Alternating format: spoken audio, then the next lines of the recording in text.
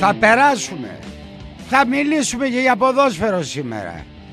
Υπάρχει μάλιστα και ένα σύνθημα που λέει πάω και εσύ να είσαι καλά και όλα τα άλλα μπέμπατα με κεφαλαία γράμματα. Είναι έτσι; Έτσι σκέπτονται οι παοξίδες, έτσι σκέπτονται οι οπαδοί, έτσι σκέπτεται ο κόσμος; Όχι ρε φιλέ, όχι πάω και εσύ να σε καλά και όλα τα άλλα γάματα με κεφαλαία γράμματα. Υπάρχουν πράγματα πιο σοβαρά, πιο σημαντικά από τον ΠΑΟΚ στη ζωή μας. Υπάρχει η οικογένειά μας, υπάρχει η δουλειά μας, υπάρχουν οι φίλοι μας και πάρα απ' όλα υπάρχει η πατρίδα μας. Και μπροστά σε αυτά στριβολαρίκια. Μπροστά σε αυτά δεν υπάρχει κανένας ΠΑΟΚ. Μπροστά σε αυτά δεν με σταματάει τίποτα. Κόκκινη γραμμή. Στάλιγκραντ. Ούτε μία πιθαμή πίσω. Θα, πει θα πεις γιατί τα λες αυτά, θα σας πω αμέσως γιατί τα λέω. Πάμε να ξεκινήσουμε το ταξίδι μας. Πάμε να ξεκινήσουμε λίγο αισιόδοξα, γιατί είμαστε αισιόδοξοι και πιστεύουμε πάντα στο μεγάλο Θεό της πατρίδας μας, στο μεγάλο Θεό μας. Και πιστεύουμε ότι κάπου θα μας ρίξει λίγο από τη φώτιση του, λίγο ένα, ένα, ένα, ένα, ένα ψυχαλάκι. Φτάνει. Αλλά μέχρι τότε πρέπει να υπάρχουν και φωνές που να τα λένε αυτά. Θέλω σήμερα την παρέμβασή σας. Θέλω σήμερα τη γνώμη σας.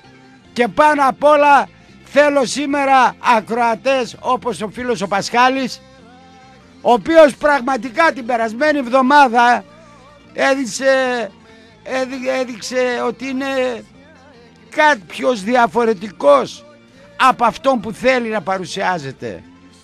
Και έμαθα ότι εκτός από την παρέμβασή του στην εκπομπή έκανε παρέμβαση και μίλησε με διοικητικό πρόσωπο της ΠΑΕΠΑΟΚ όπου τον ενημέρωσε και τον παρακάλεσε να φροντίσει για το μεγάλο στρατηγό. Και αυτό εμένα προσωπικά δεν με εξέπληξε γιατί τον έχω βγάλει φωτογραφία τη Βιόλα Βαράη. Και ότι πίσω από αυτό το κοινικό πρόσωπο που μας δείχνει όλους δείχνει έναν ευαίσθητο άνθρωπο που το μόνο που τον έχει μείνει τώρα στα γερατιά είναι να σπάει πλάκα και να τσιγκλίζει. Όπως ο Κυρκώστας και αυτός σε άλλο χαρακτήρα αλλά και αυτός θρέφεται από το τσίκλισμα που κάνει στους παοξίδες. Έχουμε πολλά να πούμε σήμερα. Θα καταλήξω κάπου. Πάμε να ξεκινήσουμε το ταξίδι μας. Ας μην ξεχνάμε, αισιόδοξοι άνθρωποι είμαστε. Συρίγω και Μονεβασιά, το λέει και το τραγούδι. Φίλε, που με έβαλες χέρι εχθές και με κρέμασες στα πανταλάκια. Θέλω να ξέρεις ότι σε ευχαριστώ πάρα πολύ για τα τόσα χρόνια που με ακολουθείς. Δέχομαι σαν καλοπροαίρετη την κριτική σου και για τα κάνα δυο χρόνια που ακόμα θα κάνω ραδιόφωνο γιατί σιγά σιγά είναι να πάρω την άγουσα για τα αποδητήρια σου υπόσχομαι να προσπαθήσω να βελτιωθώ. Θα πεις για την εκπομπή που μου λες εγώ είχα και άλλες κριτικές. Πολύ καλές. Μάλιστα ένας φίλος που την άκουσε με φώναξε και μου έδωσε και μια χορηγία ακόμα. Και σήμερα έχω και ραντεβού μαζί του. Αλλά άλλος θέλει τον παπά, άλλος θέλει την παπαδιά. Δεν λέω ότι δεν έχεις δίκιο. Αυτό το οποίο λέω όμως είναι ότι ενδεχομένως κάποια σφάλματα καμιά φορά είναι για μας τους ανθρώπους αναγκαία και εδώ είμαστε να τα διορθώσουμε. Το είπα και αυτό. Χάνονται, όχι χάνονται, είναι γραμμένες. Χάνονται στα βάθη των αιώνων. Αλλά είναι γραμμένες ιστορικές αναφορές. Και αν δεν είναι γραμμένες επάνω σε αυτό το θέμα. Ένα θέμα που παρόλη τη λυσαλέα διχόνοια, το φθόνο και τους πολέμους μεταξύ των Ελλήνων όταν υπήρχαν τέτοιες στιγμές πραγματικά οι Έλληνες γινόταν διαφορετικοί εντελώς.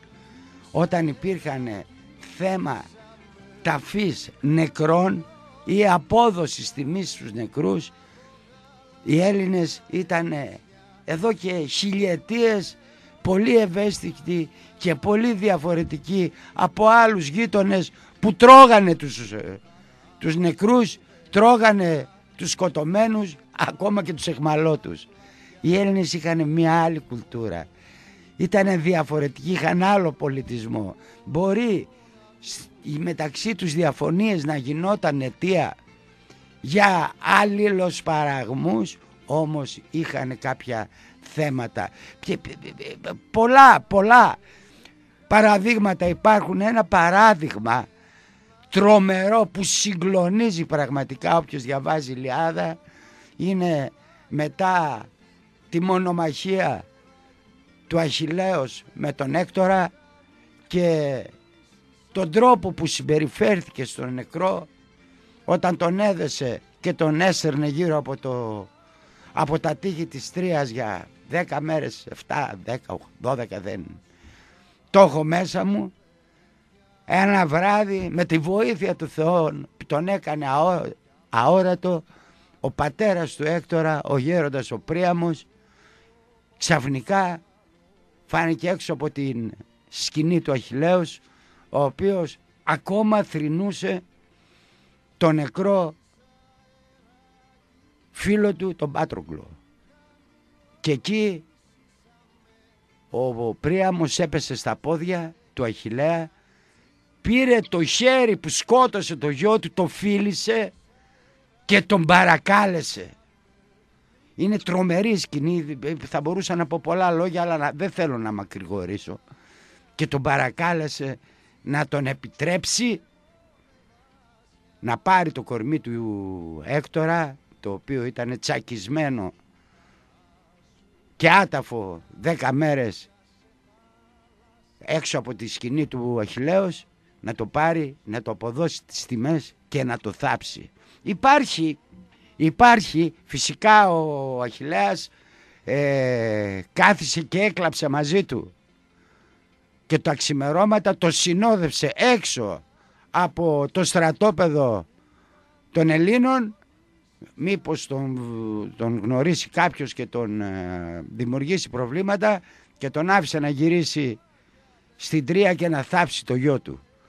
Δηλαδή άφησε να αποδώσει τις τιμές που χρειάζεται και θα πρέπει να έχει ένας νεκρός άλλωστε το λέει και η το ελληνικό, αρχαίο ελληνικό ρητό, οι νεκροί δεν δικαιώνονται. Θεός σκορέστο που λέμε και σήμερα. Ο σκορεμένος τελείωσε. Πέθανε ο άλλος σκορέθηκε. Ρε μπορεί να ήταν ο μεγαλύτερος δολοφόνος ή το πιο αθώο, ο πιο αθώος άνθρωπος του κόσμου.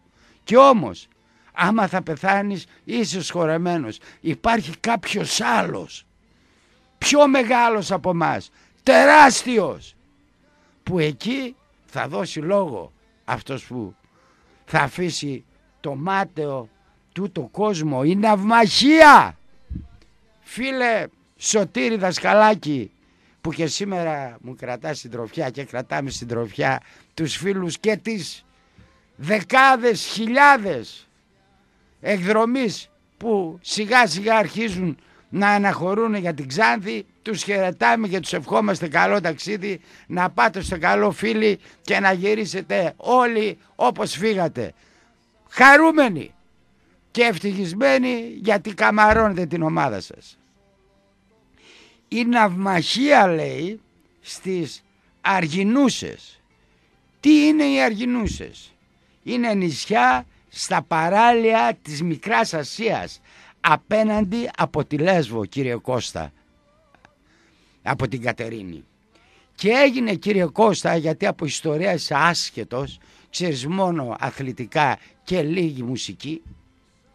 Που ιστορία δεν σκαμπάζεις πολλά πράγματα το 406 πριν γεννηθεί ο Χριστός κατά, τέλη, κατά τα τέλη του Πελοποννησιακού πολέμου. Είναι μια μάχη, μια ναυμαχία μάλλον που ε, θα μπορούσε να βάλει τέλος στη μεγάλη αυτή στα 30 χρόνια πολέμων μεταξύ των Ελλήνων. Έγιναν μεταξύ η ναυμαχία αυτή έγινε μεταξύ Αθηναίων στρατηγών που ηγούνταν 155 τριήρων και του Σπαρτιάτη Καλικρατίδα που ηγείτο 120 τριήρης. Ηγετικά πρόσωπα των Αθηναίων ήταν ο Αριστοκράτης, είχε 8 στρατηγούς οι Αθηναίοι, οι άλλοι είχαν τον Καλικριτίδα μόνο.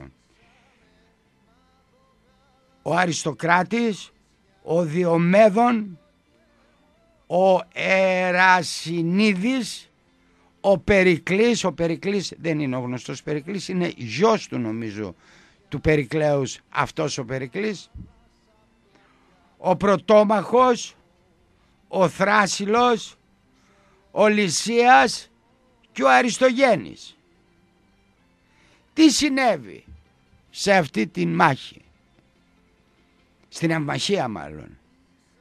Κατά κράτος κέρδισαν οι, οι Αθηναίοι οι οποίοι είχαν 25 τριήρης απώλειες ενώ ο Σπαρτιατικός στόλος είχε 70 τριήρης απώλειες. Ενώ η μάχη έληξε και οι εναπομείνοντες τριήρης των Σπαρτιατών άρον των άρων εγκατέλειπαν το πεδίο το, το μέρος όπου έγινε η ναυμαχία για να σωθούν ξαφνικά φίλε Σωτήριε ξέσπασε τεράστια τρικυμία. Ήταν τόσο μεγάλη που οι Αθηναίοι κοπηλατώντας αντίθετα στον άνεμο κατόρθωσαν και βγάλανε τα πλοία στη στεριά, τα τραβήξανε και έτσι τα γλιτώσανε. Δεν μπορέσανε παρόλο που προσπαθήσαν όμως να περισυλλέξουν τους νεκρούς που είχαν από την αυμαχία.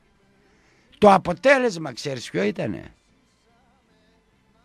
Όταν γυρίσανε θριαμβευτές στην Αθήνα καταδικάστηκαν για εξύβριση νεκρών και εκτελέστησαν και οι οχτώ. Ένας από αυτούς που μειοψήφισε νομίζω ήταν και ο μεγάλος Σοκράτης ο οποίος είπε ότι αντί να θρυνούμε τους νεκρούς που δεν μπορέσαμε να μαζέψουμε από τη θάλασσα σήμερα θα, νεκρού, θα θρυνούσαμε όλο μας το στόλο διότι από ό,τι οι μαρτυρίες λέγανε ήταν ότι ήταν τόσο μεγάλη τρικυμία και εκείνα τα πλοία τότε δεν μπορούσαν να αντέξουν σε τέτοιους καιρούς και μειοψήφισε ο Σοκράτης. Αλλά δυστυχώς οι άλλοι καταδικάσανε τους θριαμβευτές στρατηγούς εις θάνετο και εκτελεστήκανε μαζί με τον γιο του Περικλή ο οποίος ήταν ο τελευταίος του γιος γιατί οι άλλοι από το λοιμό που είχε πέσει και την ε, χολέρα νομίζω που είχαν τότε στην Αθήνα και ένα μεγάλο κομμάτι της Αθήνας αρρώστησε και πέθανε ήταν ο τελευταίος του απόγονος εκτελέστηκε και αυτός γιατί γιατί λέει δεν δείξανε σεβασμό στους νεκρούς. Θα πεις τώρα τι σχέση έχουν όλα αυτά που λες στα καλά καθούμενα και πραγματικά ενώ γίνεται η μεγάλη εκδρομή για να σιγουρευτεί ο τίτλος σήμερα της ομάδος της Μακεδονίας, της ομάδος της πόλης μας, εσύ κάθεσαι και μας λες για την αυμαχία και για τους Αθηναίους ναι, που εκτελέστηκαν πριν περίπου 2.500 χρόνια. Κυρίες και κύριοι, καμιά φορά η Ελλάδα, καμιά φορά ευτυχώς, θρηνεί, δίνεται στα μαύρα και ντρέπεται για κάποια από τα παιδιά της που μόνο Έλληνες δεν μπορούν να θεωρούνται. Πάω και εσύ να είσαι καλά και όλα τα άλλα γάματα με κεφαλαία γράμματα όχι. Υπάρχουν πράγματα πάνω από τον ΠΑΟΚ. Πιο σοβαρά. Υπάρχει η οικογένειά μας, τα αδέρφια μας, τα παιδιά μας. Ποιος ΠΑΟΚ ρε. Υπάρχει η δουλειά μας. Που χωρίς αυτήν ο ΠΑΟΚ θα έρθει να σε ταΐσει. Υπάρχουν οι φίλοι μας. Οι σύντροφοί μας. Οι κοπελιές μας. Και μετά ναι, από όλα τα δευτερεύοντα της ζωής το μεγαλύτερο είναι ο ΠΑΟΚ, ο Άρης, ο Παναθηναϊκός, το κέρατο του Ιούδα. Όχι όλα τα άλλα κάνε τα με κεφαλαία γράμματα. Υπάρχουν πράγματα ιερά. Υπάρχουν πράγματα που χιλιάδες χρόνια τα τηρούνε.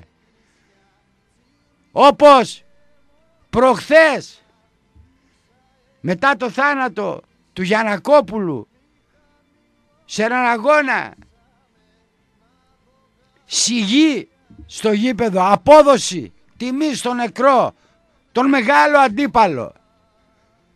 Και ξαφνικά πριν δύο μέρες σε έναν αγώνα μπάσκετ που έβλεπε όλη η Ευρώπη στο, στο γήπεδο ειρήνης και φιλίας τρομάρα τους άναυδη η Ευρώπη ο κόσμος όλος ταξίδεψε παντού αυτό. Ανατρίχιασε η κοινωνία. Και το θέμα δεν είναι άλλο.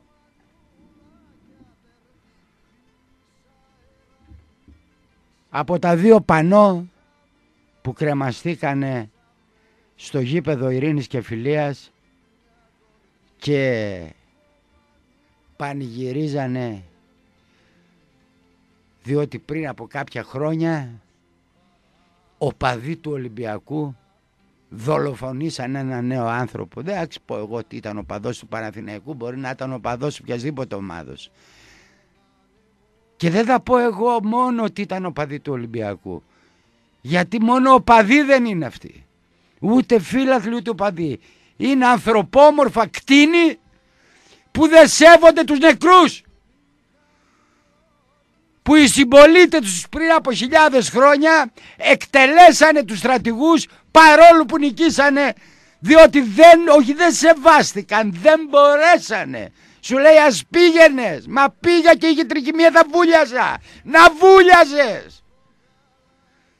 Τα σοκαριστικά πανό που σήκωσαν οι φίλοι του Ολυμπιακού κατά τη διάρκεια της αναμέτρησης των ερυθρολεύκων με τις Αγγλίρης για την Eurolinga ξεσήκωσαν θύελα αντιδράσεων και φαίνεται πως κινητοποίησαν και της νησαγγελία Πειραιά ε βέβαια ρε φίλε, Τσίπρα, που έπρεπε εσύ ο ίδιος να σηκώσεις το τηλέφωνο και να πάρεις. Αλλά όταν κρύβεται, περάσανε μήνες τους δράστες που με τα σκερπάρνια κυνηγήσανε και τραυματίσαν, κοντέψαν να σκοτώσουνε το διαιτητή του αγώνα με την Ξάνθη, αυτό το Λαρισαίο μου διαφεύγει αυτή τη στιγμή το όνομά του. Γιατί να μην κάνει την κοροϊδά και εδώ; Πώς; Ζήλος. Τζίλος. Του τζίλου.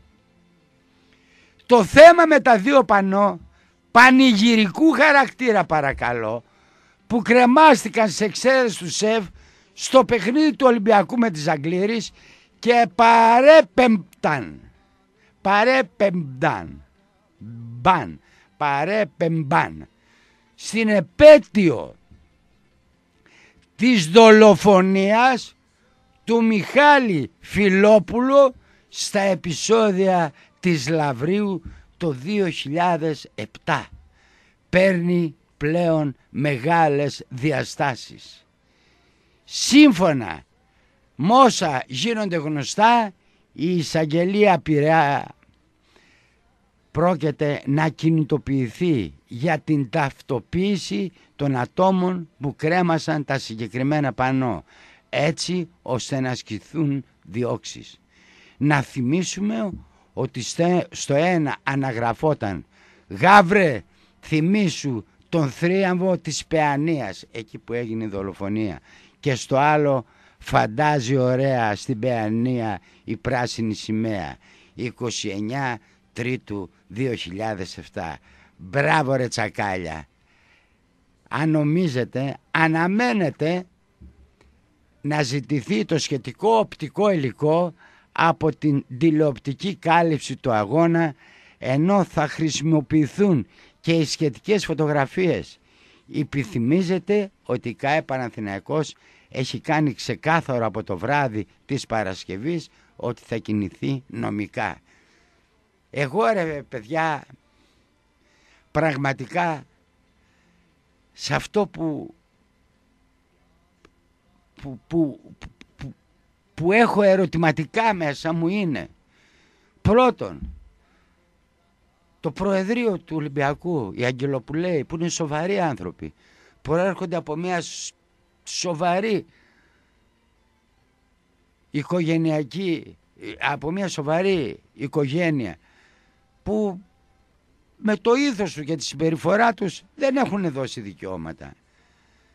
Όχι μόνο θα έπρεπε να διατάξουν την αστυνομία, να διατάξουν, να πούν στην αστυνομία να πάτε κατεβάσει, αλλά η ένδειξη διαμαρτυρίας να πάρουν την ομάδα και να την πάνε στα αποδητήρια. Ναι, να πάμε, να πάμε στο διάλειμμα και επιστρέψουμε. Εδώ είμαστε, επιστρέψαμε κυρίες και κύριοι, είναι πάρα πολλά τα τηλέφωνα που είχαμε στο διάλειμμα από ανθρώπους οι οποίοι δεν ξέρανε αυτό το οποίο έγινε από ακροατές που δεν ξέρανε τα περιστατικά και μου λέγανε να τους πω επιπλέον τι να τους πω αυτά που είπα προηγούμενα αυτά λέω και σε εσάς. έτσι ακριβώς γίνανε τα πράγματα και αυτό το οποίο μου κάνει πολύ μεγάλη εντύπωση είναι ότι οι αγγυλοπουλέοι δεν επεμβήκαν αμέσως ώστε να δώσουν εντολή στην αστυνομία να κατεβάσει τα δύο αυτά πανό που ήταν ύβρις για τους νεκρούς, για τον νεκρό αυτόν, τον άνθρωπο που σκοτώθηκε το νέο το παιδί. Για ηλίθια, σύμβολα, ηλίθια, γελία σύμβολα μπροστά στη ζωή ενός ανθρώπου. Είτε λέει είναι κόκκινα, είτε είναι πράσινα, είτε είναι κίτρινα, είτε είναι μαύρα, είτε το ουράνιο τόξο. Ένα νέο παιδί έχασε τη ζωή του και κρεμάται ρε πανώ επειδή είναι η επέτειο ότι δέστε τι σας κάναμε. Σκοτώσατε ρε άνθρωπο και μετά σας βρίζουν άλλα τέρατα σαν και εσάς. Τους νεκρούς της θύρας 7 και ξεκλαψουρίζετε και λέτε δεν πρέπει, δεν πρέπει από τη μια μεριά. Η Αγγελοπουλέη δεν. Οι δημοσιογράφοι δεν. Οι εκφωνιστές δεν. Όλο το ειρήνης και φιλίας δεν εγώ θα σας πω κάτι. Ότι αν κάτι τέτοιο γινότανε είτε στο Καφτατζόγλιο είτε στο Χαριλάου είτε στην Τούμπα ο κόσμος θα γιουχάριζε. Τώρα θα πεις επικροτούν αυτή την ενέργεια. Οι φίλαθλοι που ήταν μέσα όχι. Αλλά φοβήθηκαν κλειστός ο χώρος και αν αρχίζανε κάποιοι να αποδοκιμάζουν τουλάχιστον οι πρώτοι θα ήταν φωτογραφίες και σίγουρα θα γινόταν στόχος. Και ενώ μέχρι πότε; Στον αθλητισμό, στο πιο καθαρό κομμάτι της κοινωνίας μας θα επικρατούν μια ολιγαρχία ατόμων μετρημένων στα δάχτυλα οι οποίοι θα προβαίνουν σε τέτοιες ενέργειες και θα παρασένουν και εμάς τους μεγαλύτερους αλλά και την νεολαία και τα παιδιά μας. Ντρέπομαι πραγματικά για την ενέργεια αυτή των οπαδών του Ολυμπιακού. Δεν τους χαρακτηρίζω φιλαθλούς, δεν τους χαρακτηρίζω, το παίρνω πίσω των οπαδών. Είναι ανθρωπόμορφα κτίνη που γίνανε πρώτα πρώτα αιτία. Γιατί είδα στην τηλεόραση εχθές εκείνο το χαροκαμένο τον πατέρα του παιδιού αυτού που ενώ σίγουρα θα προσπαθεί να γιάνει όσο μπορεί να γιάνει κανείς. Να υπάρχει μεγαλύτερη κατάρα σε ένα γονιό να χάνει το παιδί του και με αυτόν τον τρόπο. Καταστρέφεται η ζωή του αυτού νου, της γυναίκας του, των αδερφών του παιδιού για όλη του τη ζωή είναι μαραζωμένοι για όλη τους τη ζωή έχουν μια, ένα πόνο στο μάτι, στα μάτια. Δεν υπάρχει μεγαλύτερη κατάρα από το να μην τηρείται η σειρά. Να φεύγει ο παππούς να φεύγει ο γονέας να φεύγουν τα παιδιά να φεύγουν τα εγγόνια σε μια σειρά ένας να. Ακούσατε χθες την κυρία Βαρβάρα που βγάλαμε με τι αγωνία μιλούσε για το εγγονάκι της. Και καταλαβαίνοντας τον πόνο που η ίδια ένιωσε είπε ότι δεν τα θέλω τα χρήματα. Ας τα δώσουν εγώ βρήκα δανείστηκα πούλησα τα μάξι μου έκανα έδειξα. Μπόρεσα. Ας τα δώσω σε μια άλλη μάνα. Να μην ζήσει την αγωνία που ζω εγώ σήμερα που έζησα εγώ τότε. Ντρέπομαι για λογαριασμό σας. Σε όλους εσάς εκεί στο ΆΚΑ γιατί καμιά φορά θα πρέπει να υπερνικάμε τις φοβίες μας. Να υπερνικάμε τις αντιρρήσεις μας να υπερνικάμε τα κλειστά βλέμματα να κάνουμε ότι δεν καταλαβαίνουμε, να κάνουμε ότι δεν βλέπουμε. Θα πρέπει να τα αφήσουμε στην πάντα και να αντιδράσουμε. Η Ελλάδα μας αυτή τη στιγμή, αυτές τις εποχές ζει τρομερές στιγμές, ιστορικές στιγμές. Είναι παρόλη τη στενάχωρη οικονομική κατάσταση που επικρατεί είναι η πιο ευημερούσα χώρα των Βαλκανίων. Άμα εξαιρέσεις 5-10 χώρες στον κόσμο μπορώ να σας πω, τη Γερμανία, την Αγγλία, τη Γαλλία, δεν ξέρω την Ιταλία, τη Σουηδία, την Αμερική, όλες οι άλλες είναι χειρότερες οικονομικά. Και δεν είναι μόνο αυτό, φίλοι. Υπάρχει και κάτι άλλο, ότι η κατάρα του πετρελαίου ενδεχομένως να χτυπήσει και την πατρίδα μας. Γιατί όσες χώρες έχουν πετρέλαια, δέτε την Περσία, δέτε το Ιράκ, δέτε τι γίνεται στη Βενεζουέλα, δέστε τι γίνεται, γεια σου Νίκε. Δέστε τι γίνεται σε όλο τον κόσμο όπου βρίσκεται αυτό το πολύτιμο καταραμένο υλικό. Η χώρα δυστυχεί αντί να περνάει καλύτερα ο κόσμος. Γιατί, γιατί όλο τα μάτια είναι εκεί πάνω, γιατί για να την εκμεταλλευτούν και να πάρουν τον ορυκτό πλούτη και τους υδατάνθρακες σε καλές τιμές δημιουργούν εντάσεις, δημιουργούν πολέμους. Από πάνω βλέπετε τι γίνεται με το Σκοπιανό. Οι Τούρκοι ετοιμάζονται Συνέχεια απειλούνε, εμείς από τη μια μεριά μπαίνει, από την άλλη βγαίνει. Μπήκαν στην πόλη οι οχθροί και εμείς λέει γελούσαμε την πρώτη μέρα. Και αντί να αγρυπνούμε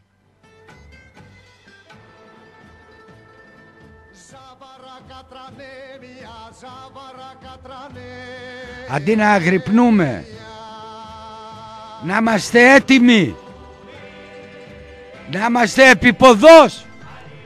Να υπερασπίσουμε τα πατρώα εδάφη τις οικογένειές μας τις περιουσίες μας. Τον τάφο, τους τάφους των προγόνων μας προβαίνουμε σε τέτοιες ελεηνές ενέργειες. Άντε ρε να χαθείτε να χαθείτε σκάτω κολοέλληνες να μπορούσανε οι Μακεδονομάχοι, οι Σαλαμινομάχοι, οι Μακεδονομάχοι. Αυτοί που πέσαν στις Θερμοπύλες, αυτοί που πέσανε στην Επανάσταση του 1821 αυτοί που πέσανε πρόσφατα εδώ στην Κοριτσά και να σας βλέπει τώρα να κάθεστε να χασκογελάτε να βλέπετε τις ξεβράκωτες και τις αδερφάρες στις τηλεοράσεις και να προβαίνετε σε τέτοιες ενέργειες σαν την κατάπτυστη αυτή ενέργεια που προβήκανε τα ανθρωπόμορφα κτίνη στο γήπεδο ειρήνης και φιλίας και να λένε για αυτά τα κοπρόσκυλα ρε δώσαμε εμείς το αίμα μας. Κρίμα. Αυτή η Ελλάδα Παπάζογλου ρε το λένε αυτό να πω βγάλε αυτό το τραγούδι. Ε, Παπάζογλου το λένε. Για βάλ το ρε να τα ακούσουμε. Έχω συνέλθει από το κρύωμα. Μια χαρά είναι ο Φάριγκας σήμερα. Μου λέει ο Σωτήρης λέει καλά ακούγεσαι σήμερα. Ε, είχα τις τελευταίες το τελευταίο καιρό πέρασε ένα άγριο. Δώστα! 2.31.0 287 888 Μετά το διάλειμμα θα ανοίξουμε γραμμές. Νικολάκη μου τι κάνεις; Σε βλέπω ετοιμάσαι για Ξάνθη; Να τραβηχτείς ε, να, να, να, να, να. Δεν είμαστε καλά στα μυαλά μας. Ωρε λαδάρα. Ουκοπρόσχυλα νεοέλληνες Σκουπίδια χαμένα κορμιά. Θα μπουνε ρε στην πόλη οι οχθροί και εσείς ακόμα θα σφυρίζετε. Κλέφτηκα. Τα καλά νέα της εκπομπής. Ενδεχόμενα φίλε Σωτήριε Δασκαλάκη και μετά ένα στραβοπάτημα του Ολυμπιακού την άλλη Κυριακή στην Τούμπα και στις 7 η ώρα στον αγώνα του ΠΑΟΚ με την ιστορική ρουμελιώτικη ομάδα της Λαμίας να γίνει και η μεγάλη φιέστα. Και αν φίλε Νικόλαε συναγωνιστεί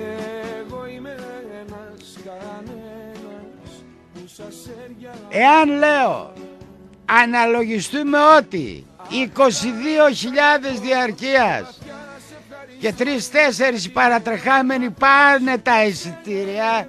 Πώς θα πάει ο λαός σου ρε Νίκο να δει το γήπεδο; Θα φωνάζει να παίξω ένα μικρό το γήπεδο πάλι; Τι σας κάνουμε; Τι σας κάνουμε; Ήθε οι κρατέοι θεοί να δίδανε. Ο Ιβάν Σαββίδης να έρχονται καμιά τριανταριά χρόνια πιο μπροστά. Ήρθε τώρα. Πότε να σας πλύνει; Πότε να σας σκουπίσει, πότε να σας βγάλει πάνω τη γλίτσα τόσο ετών, πότε να σας φτιάξει, να σας ισιώσει, σας κάνει ομάδα, να ετοιμαστείτε, να σας κάνει και γήπεδο. Δεν κάνω πρώτα το γήπεδο, να κάνεις, σε καλέσουν στο τραπέζι και να έχεις τρία κουτάλια αριστερά και τρία μπαχέρια δεξιά και τρία πυρούνια αριστερά και τέσσερα ποτήρια μπροστά σου σου πει αλάτε να φάμε πώς θα τα πιάσεις ρε άμα δεν ξέρεις; Πρώτα θα σε μάθω να τρως. Να φύγει και η γλίτσα μέσα από τον ήχη σε συμμαζέψω και μετά σου κάνω και γήπεδο. Και δι επειδή πάρε μου το τραγούδι πώς το λένε εκείνο ρε, που δεν έχουν εισιτήρια και κάνει ένα σκοτώνει για να πάρει εισιτήριο, τα λιγορικά τώρα το σκοτώνω, μην το βάλουμε για αυτά. Πώς το λένε, δηλαδή για σένα έχω κάνει κρατητήριο, εφώνευσα δια ένα εισιτήριο. Κάπως έτσι δεν λέτε εσείς οι παοξίδες, τι με νοιάζει εμένα, εγώ είμαι παραθυναϊκάρα, ετοιμάζομαι Νίκο μου, ετοιμάζομαι, ξόφλησα όλους, πακέτο, αλαφούζος, έρχεται Βάρδινο Γιάννης, Δράγκης και Αλαφούζου στο καλοκαίρι. Από μια πενιντάρα, πα, πα, πα, ψάξτε το δεύτερο. Έτσι λένε οι Αθηναίοι τώρα, δεν ξέρω εγώ τώρα, εγώ είμαι εδώ μαζί σας, τι να κάνω. Μαζί σας μεγάλωσα.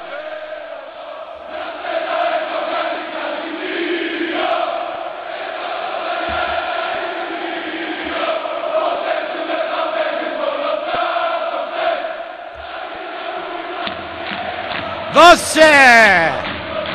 Πέντε εισιτήρια για σας για τον αγώνα της επομένης Κυριακής. Το Λίμπερο 107,4. Το Διοικητικό Συμβούλιο του Λίμπερο. Ζαγόρι, Κόλκες και Σία. Οι ηχολήπτες. Σωτήριδες. Κιόσιδες. Και τι λοιπές δημοκρατικές δυνάμεις. Και η εκπομπή του Γεωργίου Συρίγου και ενίοτε της Αποστολίας δίδουν πέντε εισιτήρια για σας για τον αγώνα της Φιέστας τον αγώνα που περιμένουν 35 ολάκερα χρόνια τα παόκια για να πανεγυρίσουν κάτι που από ό,τι λένε αυτοί θα το πάρουν και θα το κρατήσουν για πολλά χρόνια. Έτσι λένε αυτοί που έλεγε και ο φίλος μου Μάκης Θεός χωρές την ψυχούλα του. Κόπρος, τεράστιος ο Μακούλης. Αλλά Θεός χωρέστονα. Ήταν ο πιο ωραίος αλιτόμαγκας που γνώρισε στη ζωή μου. Μια μέρα μου λέει, εσύ Συρίγο μου λέει, λέω έλα ρε Μακούλη. Ήξερα μου λέει ότι είμαι μεγάλο ρε μάλι. Αλλά από τότε που σε είδα παρηγορήθηκα. Είπα δόξα την Παναγία υπάρχουν μεγαλύτερα σκουπίδια από μένα. Φυσικά και γέλασα. Δεν έβγαλα τέτοιο σκουπίδι. FM κενό. Πάω κονοματεπόρη άμα θέλετε στέλνετε και κανένα χαιρετισμό και το αποστέλλετε στο 54 526. Έλα στα δύο καταστήματά μας και νιώσε τη διαφορά στην ποικιλία και στη, και στη γεύση. Έλα στα κρεοπολία νιγρίτα με κρέατα από ντόπιους παραγωγούς με βιολογικά κρέατα από ορεινές περιοχές αλλά και με τυριά από όλες τις περιοχές της Ελλάδος. Ήδη τελικατέσεν με παστούρμα, καβουρμά, βουβαλινά είδη και κοτόπουλα μεγαλωμένα με αγνές τροφές. Κρεοπολία Νιγρίτα με δύο παρακαλώ καταστήματα και πάμε και για τρίτο. Ολύμπου 22 στη γειτονιά μου και στον Εύωσμο Καραολί και Δημητρίου 80. Τηλέφωνο 2310 500 042. Κρεοπολία Νιγρίτα η γεύση της φύσης. Τώρα για σένα Νίκο που από ό,τι έχω μάθει είσαι λάτρης του Λουκουν, Λου, Λουκανικίου. Λουκανικίου. Έτσι με είπανε. Έτσι με είπε ο φίλος σου. Ότι τρελαίνεσαι για λουκάνικα. Πρόσεξέ με. Θα μιλήσουμε σήμερα για τα λουκάνικα της Νιγρίτας. Έχουμε πρασάτο με πράσο. Έχουμε ριγανάτο. Έχουμε πικάντικο. Έχουμε μοσχαρίσιο, λουκάνικο, έχουμε βουβαλίσιο, έχουμε τζουμαγιάς, έχουμε καραμαλίδικα, καμία σχέση με τον Γκουστάκη ε, του Καραμαλή, δεν έχει λουκάνικο ο Καραμαλής, όμως τα τρώει. Έχουμε μισχο, μοσχαρίσκο μικονιάτικο, αυτό μπορεί να είναι και λίγο ε, αυτό για να το χρησιμοποιήσει και εντάξει μικονιάτικο είναι αυτό ρε παιδί μου να είναι πολλών χρυσών πολλαπρών χρυσών. Και έχει και μοσχαρίσιο χάλαλ. Αυτό είναι αράβικο. Μπορείτε όμως να πάρετε και άλλα πολλά πράγματα να το πούμε, τα πούμε όλα μαζί τώρα Κρεοπολία Νιγρίτα λοιπόν Ολύμπιο 22 στον, και στον Εύωσμο Καραολί και Δημητρίου 80 έχουμε μια οικογενειακή επιχείρηση και δεν είναι άλλη από την εταιρεία Atlas του φίλου μου το παλιό Παόκι, παλιό συνοδοιπόρο. Εγώ πήγαινα μαζί τους παρόλου Παναθηναϊκός, πήγαινα μαζί τους και το ξέρω από πολύ παλιά, το φίλο μου το Γιώργη τον Κουσουρί. Είναι μια οικογενειακή επιχείρηση, η οποία ξεκίνησε να δραστηριοποιείται στο χώρο της διακόσμησης και συσκευασίας από το 1989 με έδρα τη Θεσσαλονίκη. Εδώ θα βρείτε τεράστια ποικιλία υλικών από Ευρώπη, Κίνα και φυσικά από την αγχώρια αγορά στην οποία ο Άτλας υποστηρίζει από την αρχή της πορείας του. Πήρες δώρο στην κοπέλα, βάλε όμορφη κορδέλα. Όλη η ιστορία είναι το περιτύλιγμα. Δεξιώσεις γάμων, βαφτίσεων, εταιρικές εκδηλώσεις, παιδικά πάρτι οργανωμένα μέχρι και την τελευταία λεπτομέρεια ανάλογα από τις προτιμήσεις σας. Πού να τρέξεις τα άγραφα όταν έχεις άγραφα; Δίπλα σου στο κτήμα, στο κορτιάτι. Μενού με όλα τα καλά. Σούβλες, κοντοσούβλια, κοκορέτσια και πολλές άλλες προτάσεις σύμφωνα με τα γούστα σας. Από 12 ευρώ το άτομο. Να πάτε να φάτε, να, να, δηλαδή να περάσετε ωραία και να θυμάστε αυτή την όμορφη βραδιά που θα περάσετε εκεί ή και μεσημέρι άμα είναι καμία βάφτιση σε όλη σας τη ζωή. Μια όμορφη στιγμή με ένα όμορφο τραπέζι, με ελληνικές γεύσεις και με ψητά τα οποία θα σας μείνουν αξέχαστα. Εγώ να σας πω κάτι, όταν διαφημίζω ένα προϊόν αν δεν το δω και δεν το δοκιμάσω, αν φυσικά τρώγεται, ε, δεν μπορώ να πω αυτά που πρέπει να πω. Γιατί αύριο μπορεί να με πάρει ένα τηλέφωνο για να μου πει εσύ Ρίγο που μας έστειλες εκεί στα άγραφα και μας τα φέραν ομά ο ίδιος ο κύριος Κατσούλης, ο ιδιοκτήτης του κτήματος. Επιμελείται του ψησίματος και τον έχω δει να ψήνει ο ίδιος. Όταν πήγα εκεί και τον είδα να ψήνει, λέω σας παρακαλώ, λέω κύριε εδώ, τον κύριο Κατσούλη, θέλω να είμαι καλεσμένος του, ήρθα να μιλήσουμε για τη χορηγία μου λέει εγώ είμαι. Άλλο είσαι ψητάς. Όχι λέει δεν είμαι ψητάς. Είμαι ο ιδιοκτήτης όμως μ' αρέσει αυτό που κάνω και γι' αυτό το κάνω. Μπράβο, να είναι καλά ο άνθρωπος. Κτήμα απ' τάγραφα στο χορτιάτι και στο www.apopavlatagραφα.gr 2-31-0 622-705 να μιλήσετε με τον κύριο Κατσούλη να πάτε και να κλείσετε την ε, δεξίωση που θέλετε, τον αραβόνα, το γάμο που θα κάνετε εκεί πέρα και να μείνετε ευχαριστημένοι. Το κομμωτήριο της κυρίας Σέφης, Ολύμπου 23, όπου δεν χτενίζουμε, έχουμε κάνει το κούρεμα και το χτένισμα αντρών, γυναικών και παιδιών, πραγματικά λειτουργήμα. Δεν χτενίζουμε, ζωγραφίζουμε, δεν κουρεύουμε, κάνουμε χειροτεχνία με πέντε μόνο ευρώ και με τα προϊόντα, τα γερμανικά προϊόντα Σβάρτσκοφ που έχουμε για το λούσιμό σας, την περιποίησή σας, τη βαφή σας με γνήσια και ωραία προϊόντα σας περιμένουμε και με πέντε μόνο ευρώ παρακαλώ να σας αλλάξουμε την εξωτερική σας εμφάνιση. Η κυρία Έφη είναι εκεί και σας περιμένει. Άρτη αφιχθήσα από τας Ιταλίας παρακαλώ και πάει στην Ιταλία για να παρακολουθήσει η κυρία Έφη ένα, μια έκθεση κομμωτικής και γύρισε με καινούριο ρεπερτόριο. Ευχαριστούμε πάρα πολύ μέσα από την καρδιά μας. Εμείς οι ιδιοκτήτες της ψαραγοράς Αιγαίου, το προσωπικό και όλοι όσοι ασχολούμαστε με αυτή την επιχείρηση για την προτίμηση που δείξατε στις 25 Μαρτίου όπως, όπου εκατοντάδες νοικοκυρέοι ήρθαν να προμηθευτούν τον μπακαλιάρο τους και όχι μόνο από το μαγαζί μας. Ζητούμε συγγνώμη αν κάποια παράληψη έγινε αλλά δεν ήταν δυνατόν καμιά φορά στις μεγάλες προσπάθειες και όπως λέμε όσοι δουλεύουν κάνουν και από κανένα λάθος ενδεχομένως κάποιοι από εσάς να μην προλάβουμε να τους εξυπηρετήσουμε. Ήσασταν τόσο πολλοί και σας ευχαριστούμε μέσα από την καρδιά μας όλους.